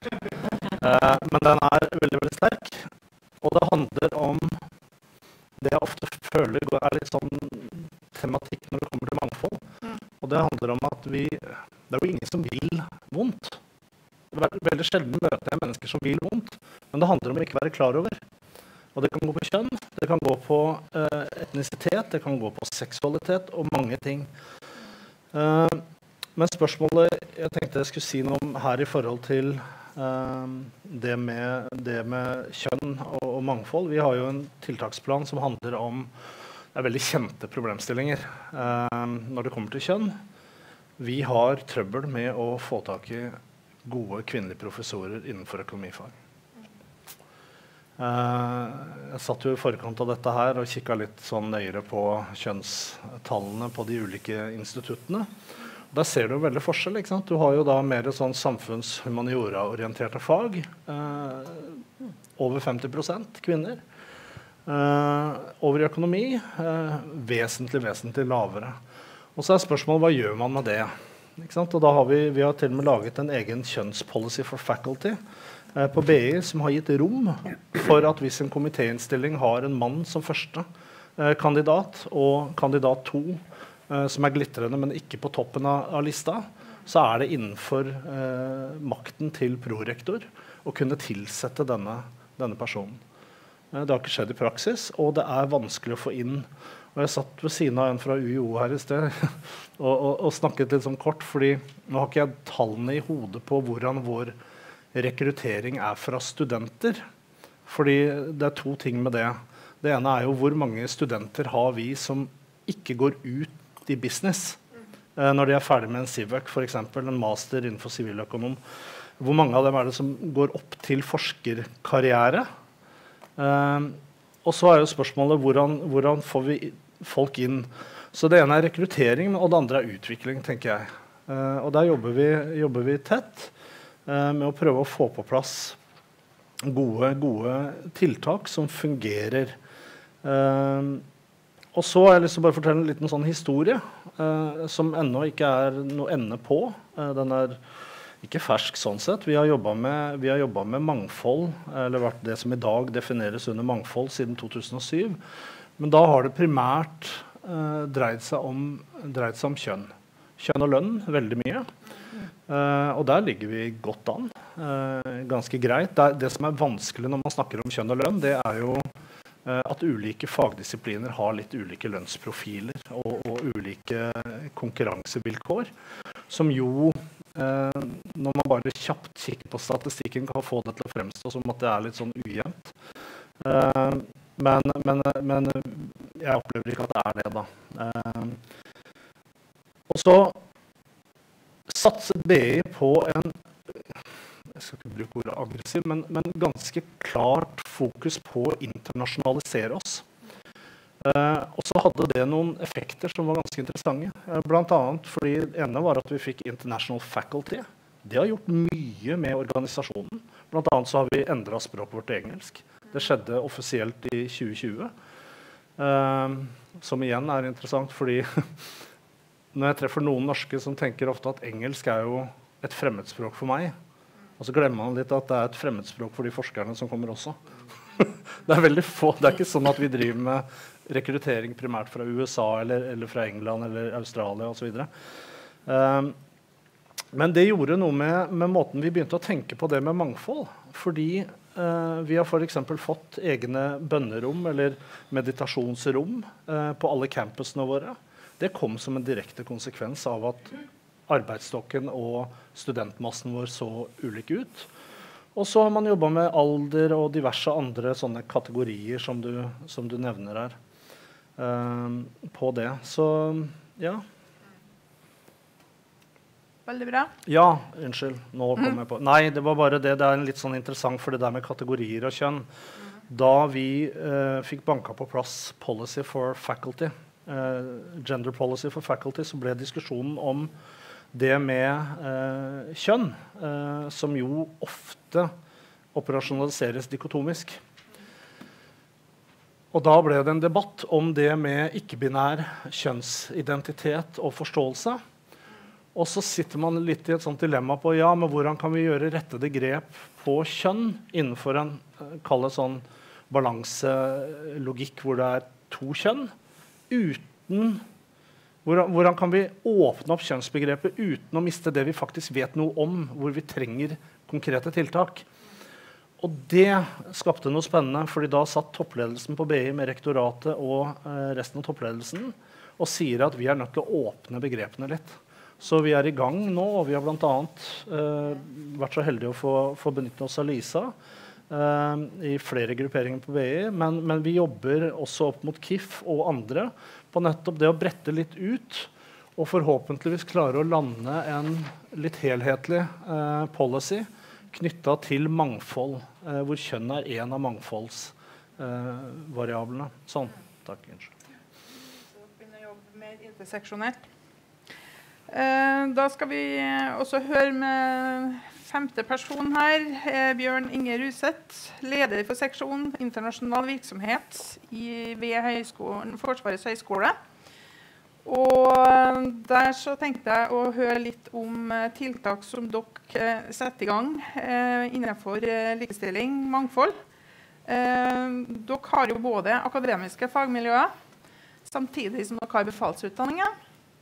Og som oppdragsforsker så vet jo jeg at dere i mange mange år har vært opptatt av og også sendt ut eh, oppdrag eh, på forskning om hvordan en sikrer økt likestilling i Forsvaret. Så det er ikke noe ny issue hos dere heller. Men kan du si litt om hvor er status hos dere nå? Ja, eh, først vil jeg bare slå fast at jeg er ikke en av de som har mange års erfaring i sånt arbeid. Jeg begynte med dette i Likestillingsvalget for to år siden. Syns det er veldig interessant.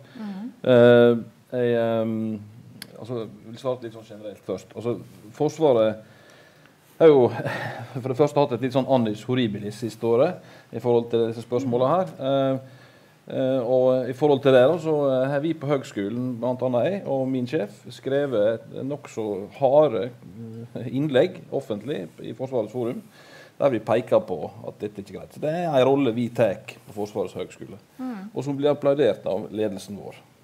Eh, når, når, det er sagt, så, så er jo forutsett altså, Grunnlaget vårt er jo at vi vil ha tak i de beste kandidatene mm. for de oppgavene vi skal sette dem i. Det skal være befalsutdanning, mannskap, eller, eller forskere, eller offiserer eller ledere.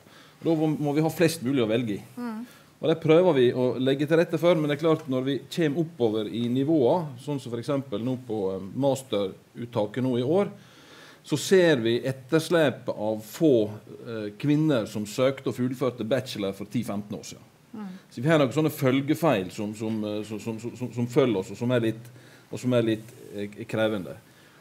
Vi, vi, er ikke så veldig opptatt av denne her, eh, det som andre har kalt for kjønnsbalansen. og brukt andre ord på. Vi, vi er nok mer opptatt av å finne sikre at vi har kritisk, et kritisk minimum, iallfall i første omgang, slik at vi sikrer oss muligheter for å plukke ut de, de rette kandidatene. Mm. Og så legger vi skuldra på da, for å få da, tak i de kandidatene vi, vi ønsker.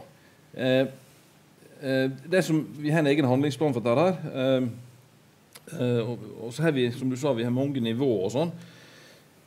Det som vi har hatt føler vi har hatt suksess med eh, på, på, høyere nivå og på forskning, er å bruke likestillingsmidler aktivt ut. og mm.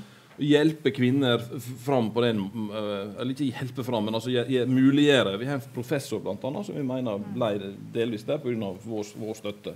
Mm. Som sitter nå, nå på, på, skolen. Mm. Med den, den, den, er vanskeligere. Altså. Der er, vi har også hatt en, en omlegging der. Eh, og Eh, der har ikke vi men, men, men, vi må få til en bedre balanse. Der er ikke vi helt, uh, helt i mål. Hadde du et spørsmål til deg? Nei, men jeg, jeg synes det er et viktig poeng det du sier, at hva en setter i handlingsplaner som på en måte oppnåelig Ja. eh, plan for hvordan vi kommer oss videre, den er jo veldig avhengig av hva som er eh, på en måte fase null, altså hvor den starter hen. Og, og så er det en annen ting som, som er min erfaring. Eh, for det ene er jo disse planene i denne rapporteringen. Det er viktig på en måte for å presse fram et system. Det er liksom som førstegangstjeneste. Når du setter folk til å vaske rommet sitt og pusse skoene sine, så er det ikke nødvendigvis for at det er det de skal drive med. Det er for at de skal, som fenriken sier på Lauritzen, man skal bli en bedre utgave av seg sjøl, og så skal man bli pressa sammen i et felles system. Eh, Det som jeg opplever er det viktigste, er at lederne på alle nivå sørger for både positivt, positivt gi skuldra på når det er nødvendig, også i forhold til mangfold, men også ta tak når det er negative ting som skjer. Og Der har vi dessverre i Forsvaret glippa litt de senere åra, men jeg håper at det skal bli bedre. Bra. Uh, jeg tenkte også å spørre litt om eh, inspirasjonen som du har fått i dag av uh, AFI-rapporten. Ja. Eh, fra AFI-rapporten så var det gjenkjennelig dette med at eh, eh, aktivitets- og redegjørelsesplikten og handlingsplaner gir likestillings- og mangfoldsarbeid en kraft og en retning som det ellers ikke ville ha fått. Men vi skal heller ikke overdrive den betydningen. For, for hvem? Jo, vi som jobber med dette, og kanskje toppledelsen osv. Men eh, igjen det Vivian fra NTNU var inne på, det å sørge for at det faktisk blir en effekt utover i organisasjonen, det er liksom min kjepphest. Det, det krever mer ressurser enn kanskje liksom å kretse for mye rundt at du har en stillingsressurs på dette. Jeg sitter jo i dette nettverket av likestillingsrådgivere med representanter fra alle universitetene og høyskolene. Det ble jo litt anekdotisk, men det vi ser, er at disse stillingsbrøkene eh, hvor mye tid som er avsatt av dette, reduseres stadig. Eh, tidlig, siste rapporten dere bestilte, viser at ressursene som settes av til dette, reduseres. Økonomiske og menneskelige. Vi ser òg at eh, likestillingsrådgivere som slutter, blir ikke erstattet. Så, så, så det er et lite obs. Ellers litt sånn til inspirasjon, og det siste Katrine sa, var liksom, hvordan få gode diskusjoner om mangfold. Eh, det må vi kanskje bli bedre på, for vi er nå òg i en tid hvor det å være opptatt av mangfold og jobbe med mangfold, og at en institusjon, mangfoldige en av Oslo Mets kjerneverdier, blir mer utfordret enn før. Sånn, vi er òg i en polarisert politisk tid hvor begreper som identitetspolitikk og kanselleringskultur og krenkelsestyranni osv. er sentrale. Så vi, liksom, fremover må vi òg bli bedre på begrunnelsene for mangfold. Og da er jeg på det siste punktet. Det vi ser når vi snakker om mangfold internt, det som tenner folk, er ikke så mye Kom på kurs og lær hvordan du skal unngå å diskriminere gravide. Men det er mer liksom Hvilken arbeidshverdag er de? Hvilken type mangfold er det våre folk står i? Ja, da er de inne på mer det kognitive mangfoldet. Meningsmangfoldet, fagmangfoldet. Hvordan sikre gode akademiske eh, diskusjoner som bygger på hverandre. Har en kompetanse hvor du har en perspektivbevegelighet, dialogisk kommunikasjon. Så liksom det som treffer, treffer folk. For det går inn i liksom, hvordan skape verdiskapning for oss i akademia. Og få liksom forløse dette mangfoldet vi faktisk eh, be består av, på en måte som hever kvaliteten på forskning, utdanning og, og formidling. Så det er liksom litt den retningen jeg ser diskusjonen går i. Mm. Um, du har jo vært litt inn på det nå eh, til det forrige svaret ditt, men uh, vi kan jo kanskje, hvis vi sier det litt tabloid, så er det veldig ofte at en merker at når en, uh, du kommer til ordet mangfold i akademia, så er det med en gang at det snakkes om språk. Mm. Det snakkes om forskjellighet, det snakkes om på en måte ja, altså sosial kapital, inkludering. Hvordan skal vi få til? Å sprenge grensene og få putta litt annet tankesett inn i det her? Ja, altså det jeg kan bare bygge på det jeg har sagt før. og det er egentlig å tørre å høre på folk. Høre på hva de har å si, og ikke nødvendigvis gjette på hva, de, hva du ønsker de skal si. Mm. Fordi Da jeg holdt på min forskning rundt min doktorgrad, så hadde jeg liksom, jeg kom liksom med så mye kjønn, kunnskap om kjønn, og fikk så mange som sa Nei, jeg merker ikke kjønnet mitt så veldig ofte i hverdagen. Eh, og, og hva skal jeg gjøre med det? da? Skal jeg late som de ikke sa det? Um, og så når vi tenkte på mangfold, så, så har vi en, en, en, på jobben vår som kommer fra et eh, fjernt land. Og jeg tenker da, nå skal jeg snakke litt med, ham og hans hverdag, og hvordan han føler seg ekskludert. Ja, nei, det er fordi han er de eneste som har hans faggruppe. Det er det som forstyrrer hans hverdagen, ikke hvor han kommer fra. Så altså, jeg tenker at Hvis vi skal jobbe meningsfullt på, på mangfold, så må vi tenke på to nivåer. Vi må ha øye på de tallene, fordi jeg tenker at veldig ofte så, så man oppfatter ikke de ting når det, når det gjelder seg selv. Altså når, det, når det skjer ting med deg, så hvordan skal du vite om du ble ekskludert fordi du er kvinne, eller fordi du er uh, ikke norsk, eller fordi du er Altså, du ble bare ekskludert. Du kan ikke sette en grunn på det. Så vi må, ha, vi må ha litt øye på tall, men samtidig så må vi høre på hvordan folk i sin hverdag egentlig opplever inkludering og ekskludering. Hva, hva er det som gjør at de ikke trives eller, eller uh, trives? Så det, og så må du egentlig ta de svarene du får, eh, og gjøre noe med det. Og ikke bare si nei, det var ikke det jeg forventa. Jeg tenkte å spørre også deg, Lisa, litt om det. Eh, litt innramming til Kanskje Nå tar jeg litt forbehold om at kanskje jeg ikke har fått med meg alt av forskning. Eh, Men eh, det er kanskje forska mye mer på kjønn enn mangfold knytta til akademiske institusjoner. Eh, når du kommer til mangfold, så har veldig mye av pengene i, i, i Norge som går til forskning, vært knytta opp til flyktninger, velferdspolitikk, og veldig lite egentlig til hvordan samfunnet transformeres og utvikle seg til å bli multikulturell, f.eks. Og eh, jeg tenkte å høre litt med deg, Lisa, på det med eh, Rapporten i dag nevner eh, hvit, privilegert kunnskapsløshet er påfallende i akademia i Norge.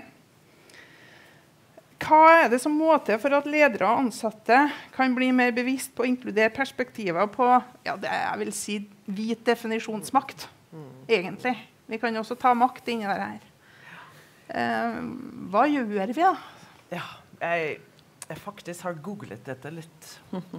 Og dere googler det. Uh, 'Decolonization of the curriculum'. You can get a whole uh, 1, 2, 3, 4, 5 uh, steg som du skal gjøre. Så dette sliter alle med. Det er ikke bare en norsk fenomen. Men for å få opp de gode dialoger eh, du trenger eh, tilbake til det vi snakker om hele tiden, er den psykologiske trygghet. Du må få lederne i et rom hvor de kan være ærlige. Ja, og de kan høre på en som forteller om sine perspektiver. Den tiltaket, eh, hvordan å komme dit, må skreddersys til, uh, til enhver. Den måten som vi gjør, som Gerhard har vært utsatt for det når jeg har gjort det for han, så du kan kanskje spørre han om samme spørsmål, vi går, og jeg likte veldig den uh, restarter den organisasjonen og, og, har fokus på organisasjonsendring. Ja, og den formelle og uformelle. Ja. På grunn når vi uh, har hatt en uh, runde med BI, da, da skulle vi rekke 170-80 ansatte, jeg husker ikke, uh, og gjort det i en workshop-rekke. Uh, og i den workshopen så var det høy bevissthetsfokus. Da de skulle lære om hver og mangfold, de skulle lære om systemisk diskriminering og rasisme. De skulle putte den i kontekster. Hva gjør andre innenfor deres uh, bransjen? Men vi gikk også ganske dypt inn i privilege and power med mye case studies som Linn snakker om. For det var ikke før de begynte å snakke selv. Eh, I det vi klarte å, å, å ramme i en, en relativt trygg miljø, tror jeg. I, I, noen av de så var det mange tårer. Ja, det, det, ble mye følelser når man begynner å snakke om dette.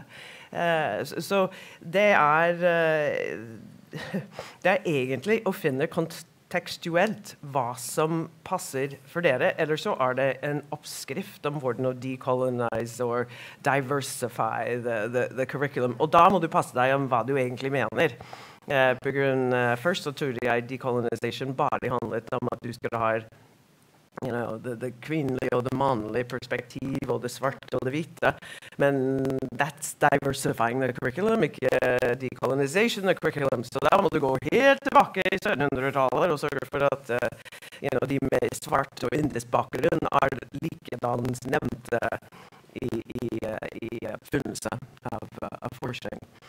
Men lett, lett er det ikke. Men her er det også studenter jeg kommer tilbake til mine kjære studenter, som virkelig er til at AHO, som har studenter, de har satt i gang. De gidder ikke å vente for lærere, professorer eller institusjoner å gjøre det selv. Så de har gått, og det er de som har funnet you know, nye gender perspectives i, innenfor design, eller uh, det, det, Jeg burde huske uh, mange av de andre. Men de er en fantastisk kilde uh, til hvordan egentlig dette feltet bør uh, videreutvikles. Og de hører jeg på veldig mye. Men også en ting til. Sorry.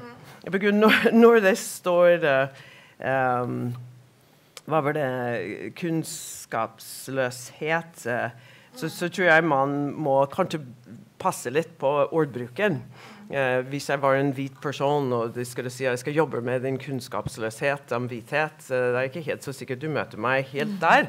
Det er, si, den kunnskapshul du har, Gerhard, eller den kunnskapsmulighet du har.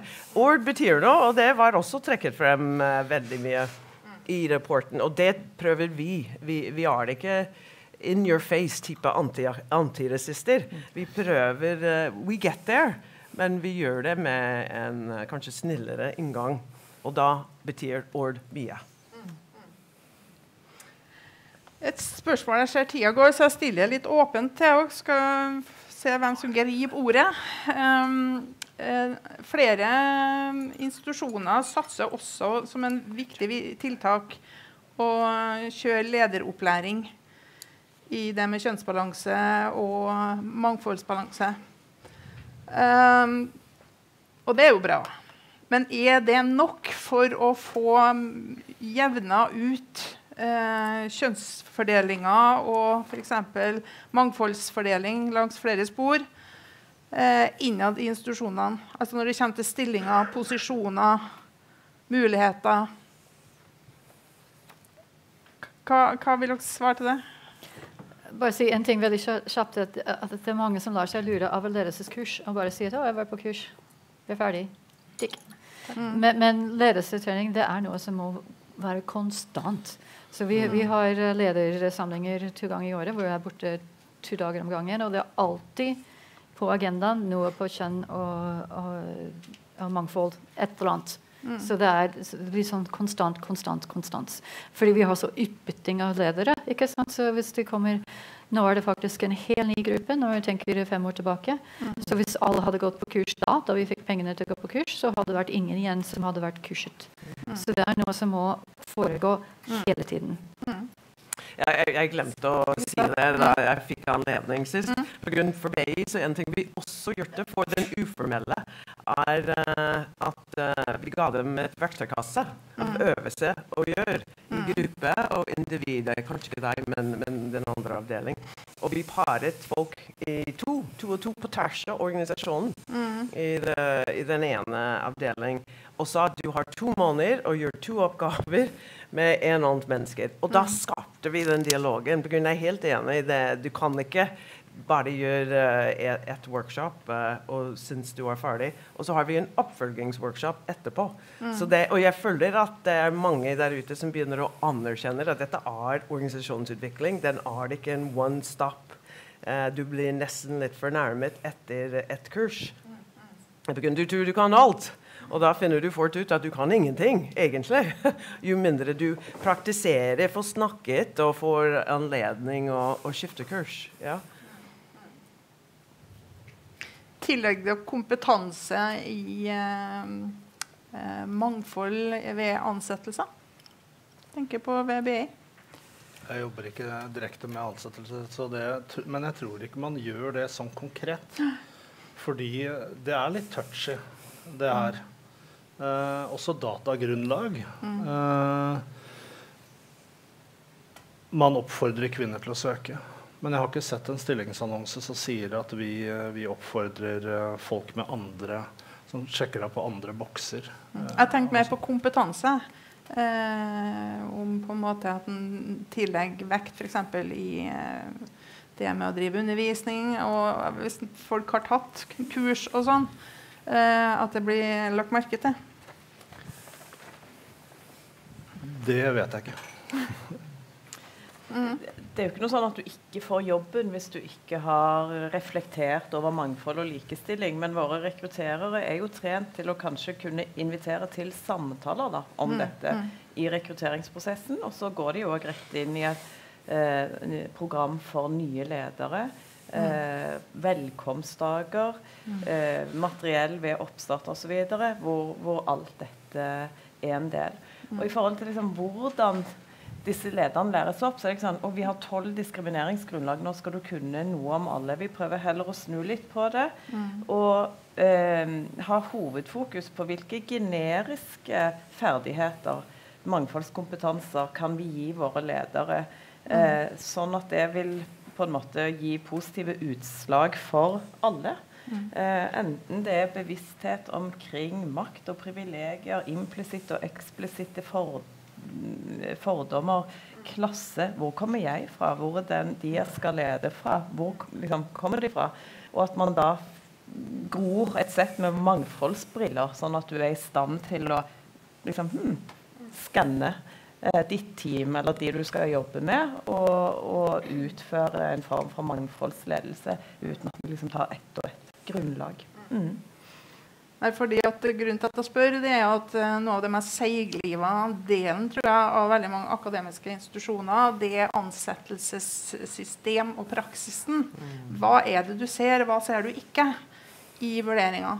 Eh, og det gjelder jo Jeg skal snakke minst om universiteter, for jeg kommer fra instituttsektoren. Eh, men jeg ser jo at eh, her er det også ting som en kan justere på eh, i forhold til å bli flinkere. Mm. Jeg vil si litt om det med, med kursing og kompetanse. for Innen det nordiske samarbeidet, som også er en del av, Mm. så har vi fordelt kurspakker i forhold til Nato-utdanning. Blant annet så har faktisk Sverige allerede kurspakker på noen Nato-kurs, og et av de kursrekkene her er på gender.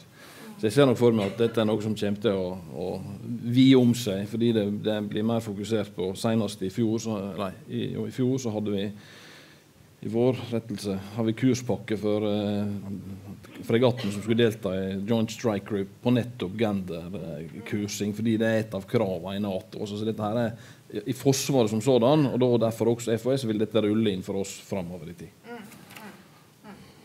Det, er bare en liten apropos når de snakker om mangfold som kompetanse. Jeg snek meg inn i arbeidsgruppen i Oslo kommune som skulle lage en handlingsplan for å øke rekruttering av eller flerkulturelle som ansatte ledere og i styret. Eh, og en ting vi gjorde, vi, vi, vi kjørte en fokusgruppe med ansatte med flerkulturell bakgrunn som jobber i Oslo kommune, for å prøve å finne ut hva syns de? Ja, hvordan kom de inn i Oslo kommune? Vi kom inn på Webcruiter. Vi kom inn på den haking hvor de sa og innrømte nesten 80% at de haker ikke at de har innvandrerbakgrunn. Pga. den ligger under funksjonsnedsettelse. Eh, dette var en stor sjokk til arbeidsgruppen, og jeg ikke søkte en jobb en evighet, så det hadde ikke jeg fått med meg. Men eh, så Oslo kommune nei, Jeg har ikke fulgt med, pga. handlingsplanen går sin urtete gang. Vurderer å se om de kan endre det til å være under kompetanse. Så, så på mange måter tilbake til strukturen, you know, som er egentlig det vi arver, og ikke, ikke, ikke, ikke lager. Men det kan vi endre. Så Så Litt apropos, sorry. identifisere de kritiske, reproduserende eh, prosessene i akademia eh, tror jeg gjenstår eh, mye arbeid på. Eh, helt til slutt eh, Hva ønsker dere å knytte kommentarer til hva dagen i dag har gitt dere?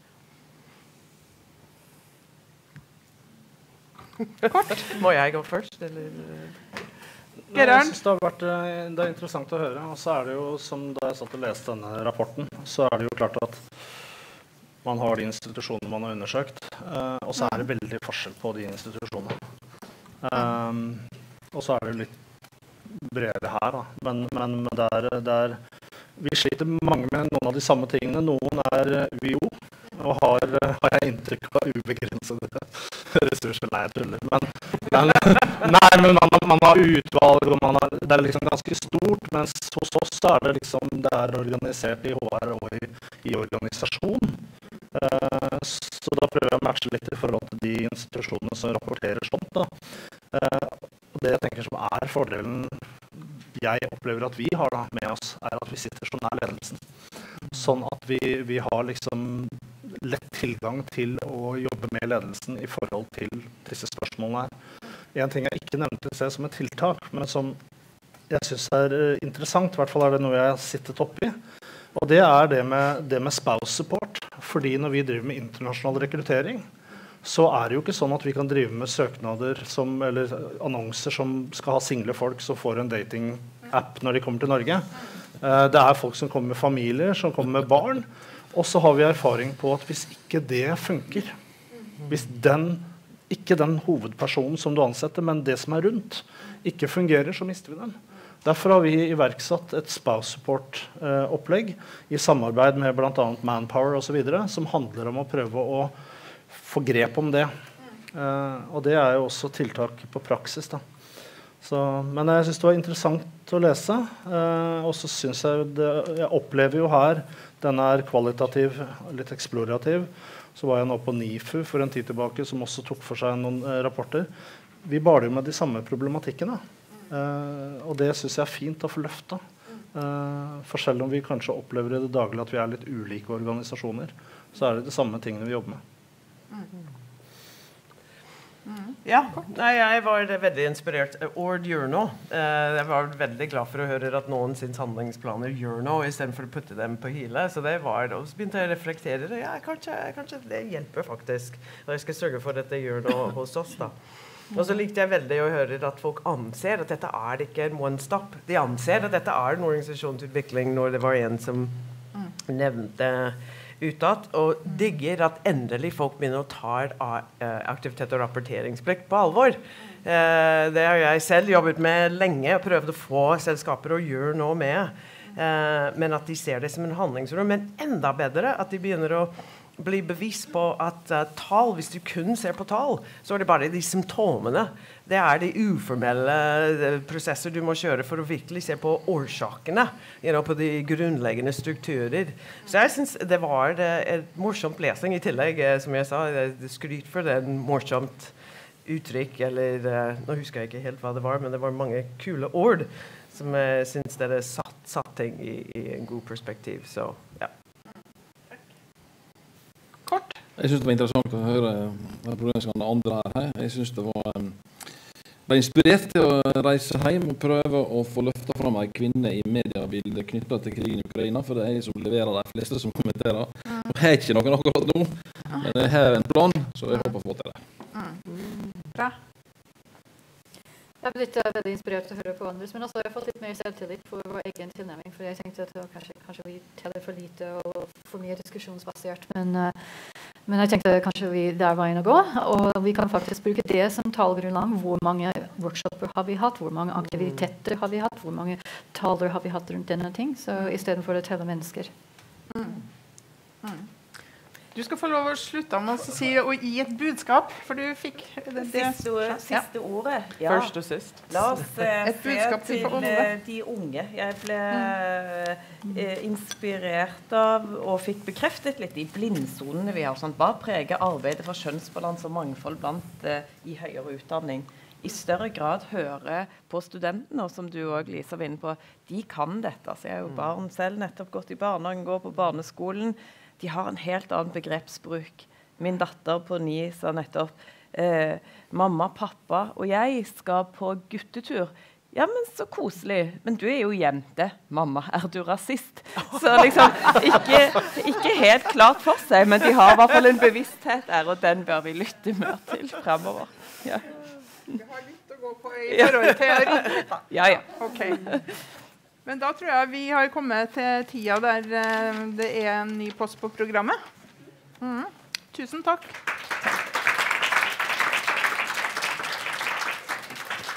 Jeg vil takke panelet for uh, nye innsikter og litt utvidet uh, erfaringer fra ulike organisasjoner. Uh, det tar vi med oss videre.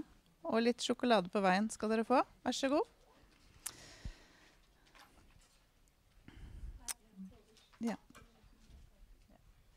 Da vi på, begynner vi å nærme oss slutten av programmet.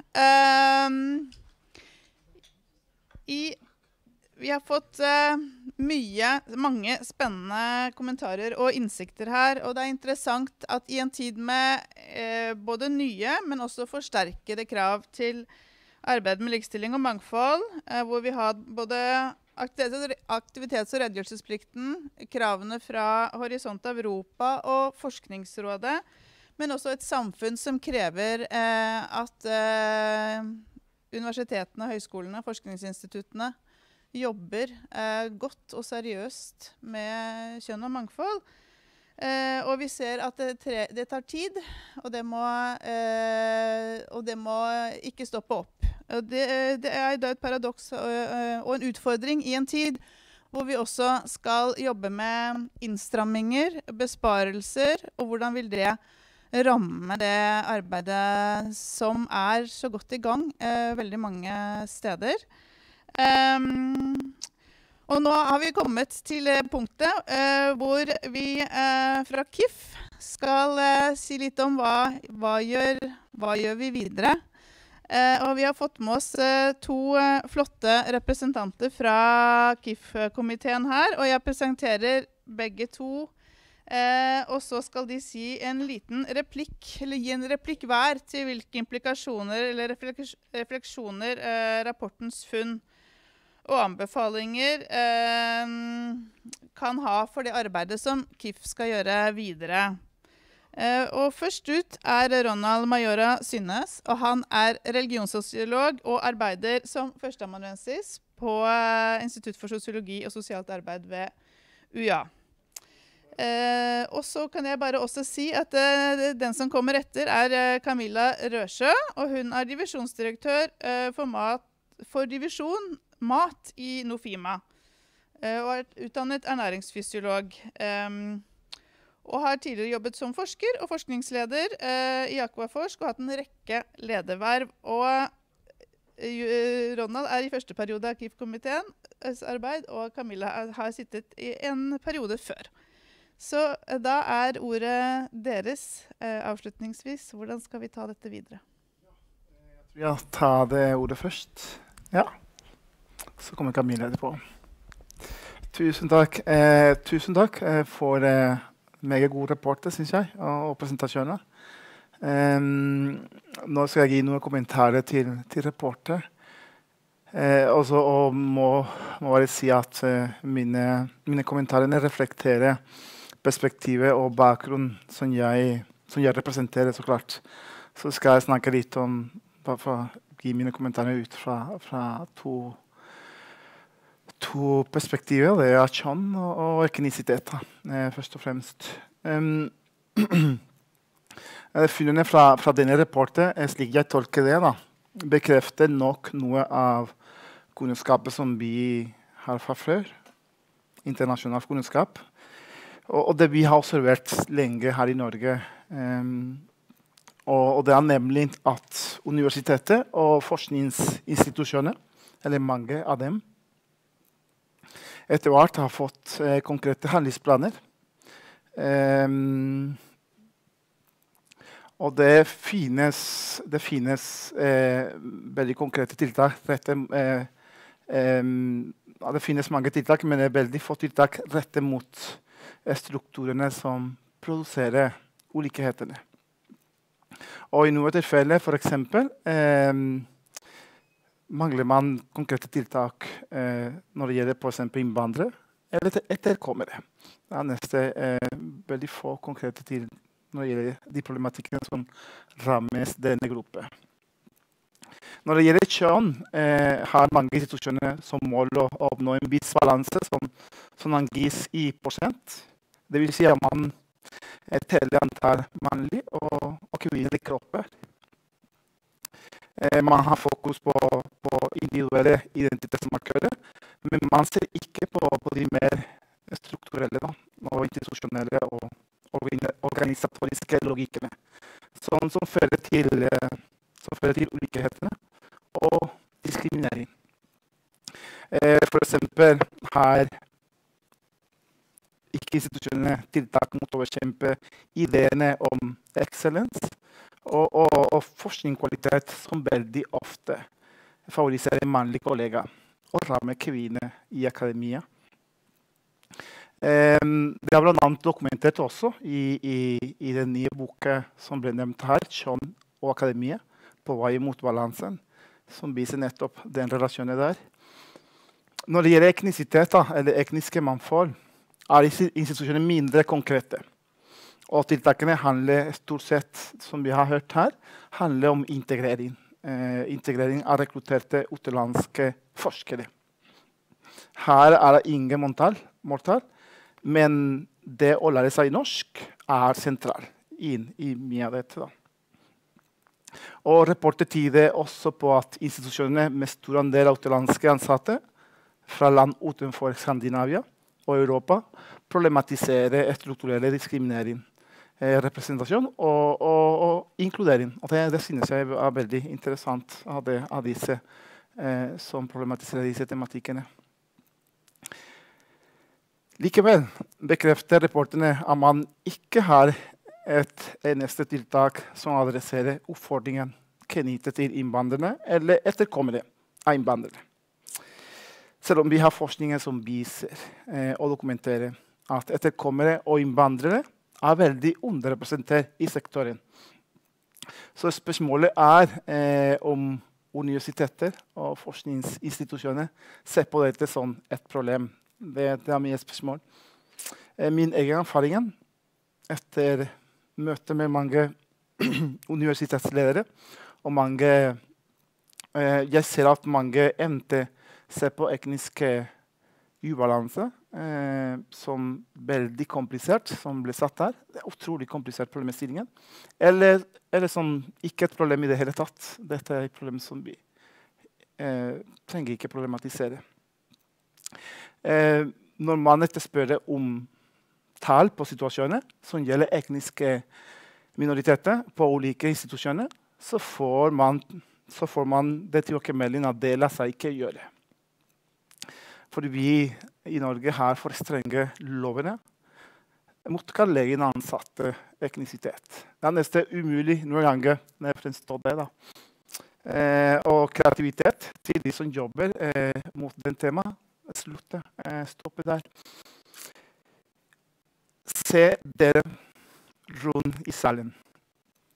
Se de folk som er rundt i salen her.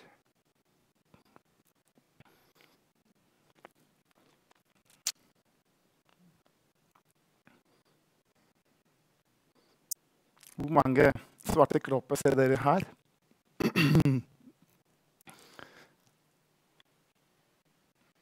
Slik ser det ut i de fleste akademiske forsamlinger som jeg, jeg står i Norge.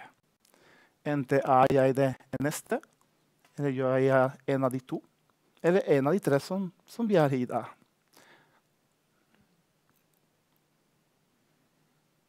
Så vi virkelig fortsetter å ha det sånn, liksom skal vi virkelig fortsette å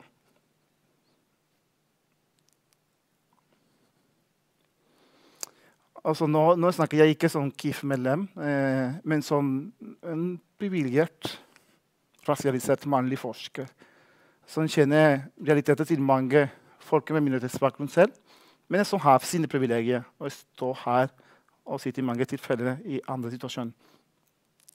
Men det er frustrerende at det er et tema som det, det, det, er frustrerende, og dette er et tema som etter min mening er svekket i liten til sektoren blant mange folk med etniske minoritetsbakgrunn. Jo, eh, fordi studentene ser at undervisningsrommet er fylt med et mangfold av studenter. Men de som står her og foreleser, eller de som står her og presenterer sine forskninger, er en veldig homogen gruppe. Og det ser studenter. Det ser de. 20% av den norske befolkningen har en minoritetsbakgrunn snart. 10% av de minst, har en litt annen farge enn majoriteten.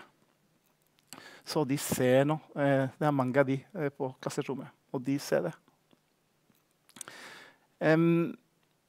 Jeg håper at denne rapporten synliggjør denne problemstillingen og bidrar til at institusjonene hver for seg og sektoren sånn sådan så klart, tar eh, problemstillingen på alvor. Eh, vi trenger konkrete tiltak for å kunne oppnå likestilling når det gjelder eh, andre parametere enn kjønn. Samtidig må vi gå lenger enn måltall og se på de strukturelle og institusjonelle logikkene i sektoren som bidrar til å reprodusere ulikhetene, både når det gjelder kjønn og når det gjelder etnisitet. så klart. Dette var for at jeg meg bidra i arbeidet eh, vi gjør i KIF, eh, og dialogen med min egen institusjon i Kristiansand eh, i Agder. Så Vær så god, Camilla. Takk skal du ha, Ronald. Og tusen takk for en uh, spennende rapport og en uh, lærerik dag. Uh, mange gode innspill. jeg kommer jo fra ledelsen, som det har vært mye snakk om, så jeg legger nok litt ekstra vekt på hvilke momenter tar jeg med meg hjem til egen institusjon, og også til diskusjonen i KIF-komiteen. Da tenker jeg det er tre ting. Det er eh, dedikert ressurser. Det er lederutvikling. Jeg er veldig enig i at det er ikke kurs, men det er en kontinuerlig utvikling. Og hvilke tiltak har effekt. Eh, rapporten var jo tydelig på det med dedikerte ressurser. Eh, at institusjonene har det. Men jeg tenker en dedikert ressurs kan ikke jobbe i et vakuum. Eh, så det med lederutvikling Eh, og da tenker jeg det med bevisstgjøring av ledere, kunnskap. Hvordan jobber ledelsen med karriereutvikling, onboarding, eh, rekruttering, eh, talentspeiding. Hvordan finner vi talenter? Eh, ser vi etter talenter i egen organisasjon? Og kultur. Eh, og for egen del så har jeg tenkt at eh, hos oss hvis Ronald hadde jobbet uh, hos oss og hatt en leder i magen og tenkt at han hadde lyst til å bli leder, så tror jeg han hadde tenkt at det var ikke mulig. Det er krittende hvitt. Fra styre, toppleder, mellomleder Det er hvitt. Han har med andre ord ingen forbilder. Det er ingen han kan se. Og i tillegg er de fleste hos oss faktisk kvinner. Eh, Sånn at eh, Jeg vil tro at han ganske fort fant ut at det var sannsynligvis ikke en aktuell karrierevei hos oss. Og Derfor tenker jeg det er utrolig viktig at vi eh, jobber med lederutviklingen. Og hvordan vi som sagt ser etter talenter, vi, når vi ansetter, hvordan vi jobber med å få et større mangfold. For vi har et ganske godt mangfold eh, blant forskerstaben, men som sagt eh, blant ledere så er det trasig. Uh, og jeg har selv ikke vært veldig bevisst på det, men begynt å tenke på nå må vi, hvordan skal vi få opp kompetansen og bevisstheten. Og for meg så dreier det seg om det å ha kvalitet. Både i arbeidsmiljø, kvalitet i ledelsen og kvalitet i forskningen når man får et, eh, et større mangfold. Et større mangfold vil øke kvaliteten. Og så tenker jeg på det å ta med hvilke tiltak har effekt. Vi har jo hørt om handlingsplaner, men det står også i rapporten det at uh, en del handlingsplaner har veldig mange fine ord. Uh, men, og, og, og, det er det. Og så har vi også hørt om handlingsplaner som har effekt. Så jeg tenker det å jobbe videre med instituttsektoren. Eh, intervjue, kartlegge. Hvordan jobbes det med disse problemstillingene i de ulike instituttene? Vi har hørt noen spennende refleksjoner tenker jeg, fra Prior i dag. Eh, så det å få mer kompetanse på hvilke tiltak er det som eh, fungerer. Så altså ressurser, lederutvikling og lære mer om tiltak. Takk for meg.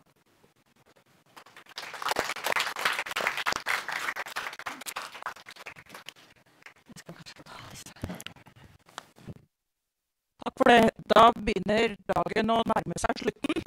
Og øh, jeg skal ikke gjøre noe forsøk på å oppsummere mer enn det som allerede er gjort. Men jeg skal benytte anledningen til å takke uh, Katrine og Ida for rapporten. Jeg skal takke alle som har deltatt på ulikt vis i programmet, og alle som har vært til stede både fysisk her og på stream. Og takk også sekretariatet, som har lagd et flott arrangement. Så takk til dere også. I tillegg skal jeg si to ord, for det har vært oppe i litt ulike varianter når KIF-komiteen skulle begynne å jobbe med mange uh, ulike grunnlag, eller mange ulike målforholdstyper, så jobba vi med hvordan vi skulle angripe det. Og så egentlig så starta vi i Ronalds klasserom, hvor det var et stort mangfold. Og så, sånn vi angriper det, er å se på det store mangfoldet vi starta med, og hva vi ender opp med i akademia i toppstillingene. Og kjønn vet vi ganske mye om. Hvor vi mister folk. Vi vet mye mindre om de andre grunnlagene. Det er antagelig mye tidligere enn der vi mister, får kjønnsubalansen. Og sånn går det an.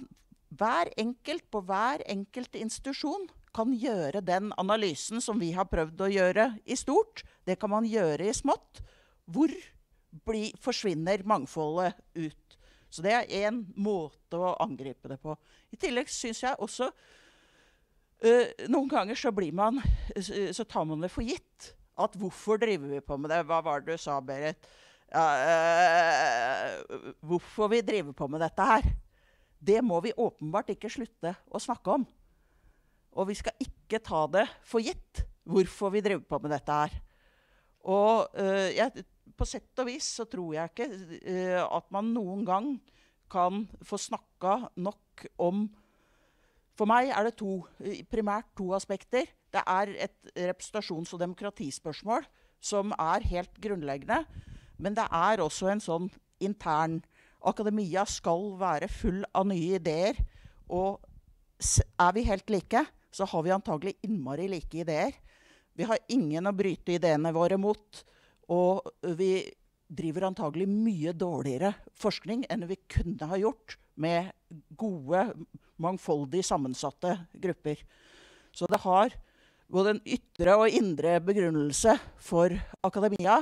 Og det tror jeg vi aldri skal glemme når vi driver og rører rundt nedi grøten på mentorprogrammene våre. Og sånn. Og da kan man kanskje miste litt av syne det grunnleggende eh, aspektene. Kvalitet i vitenskap og demokrati eh, og rettferdighet. Det er derfor vi driver på med dette her. Takk for i dag.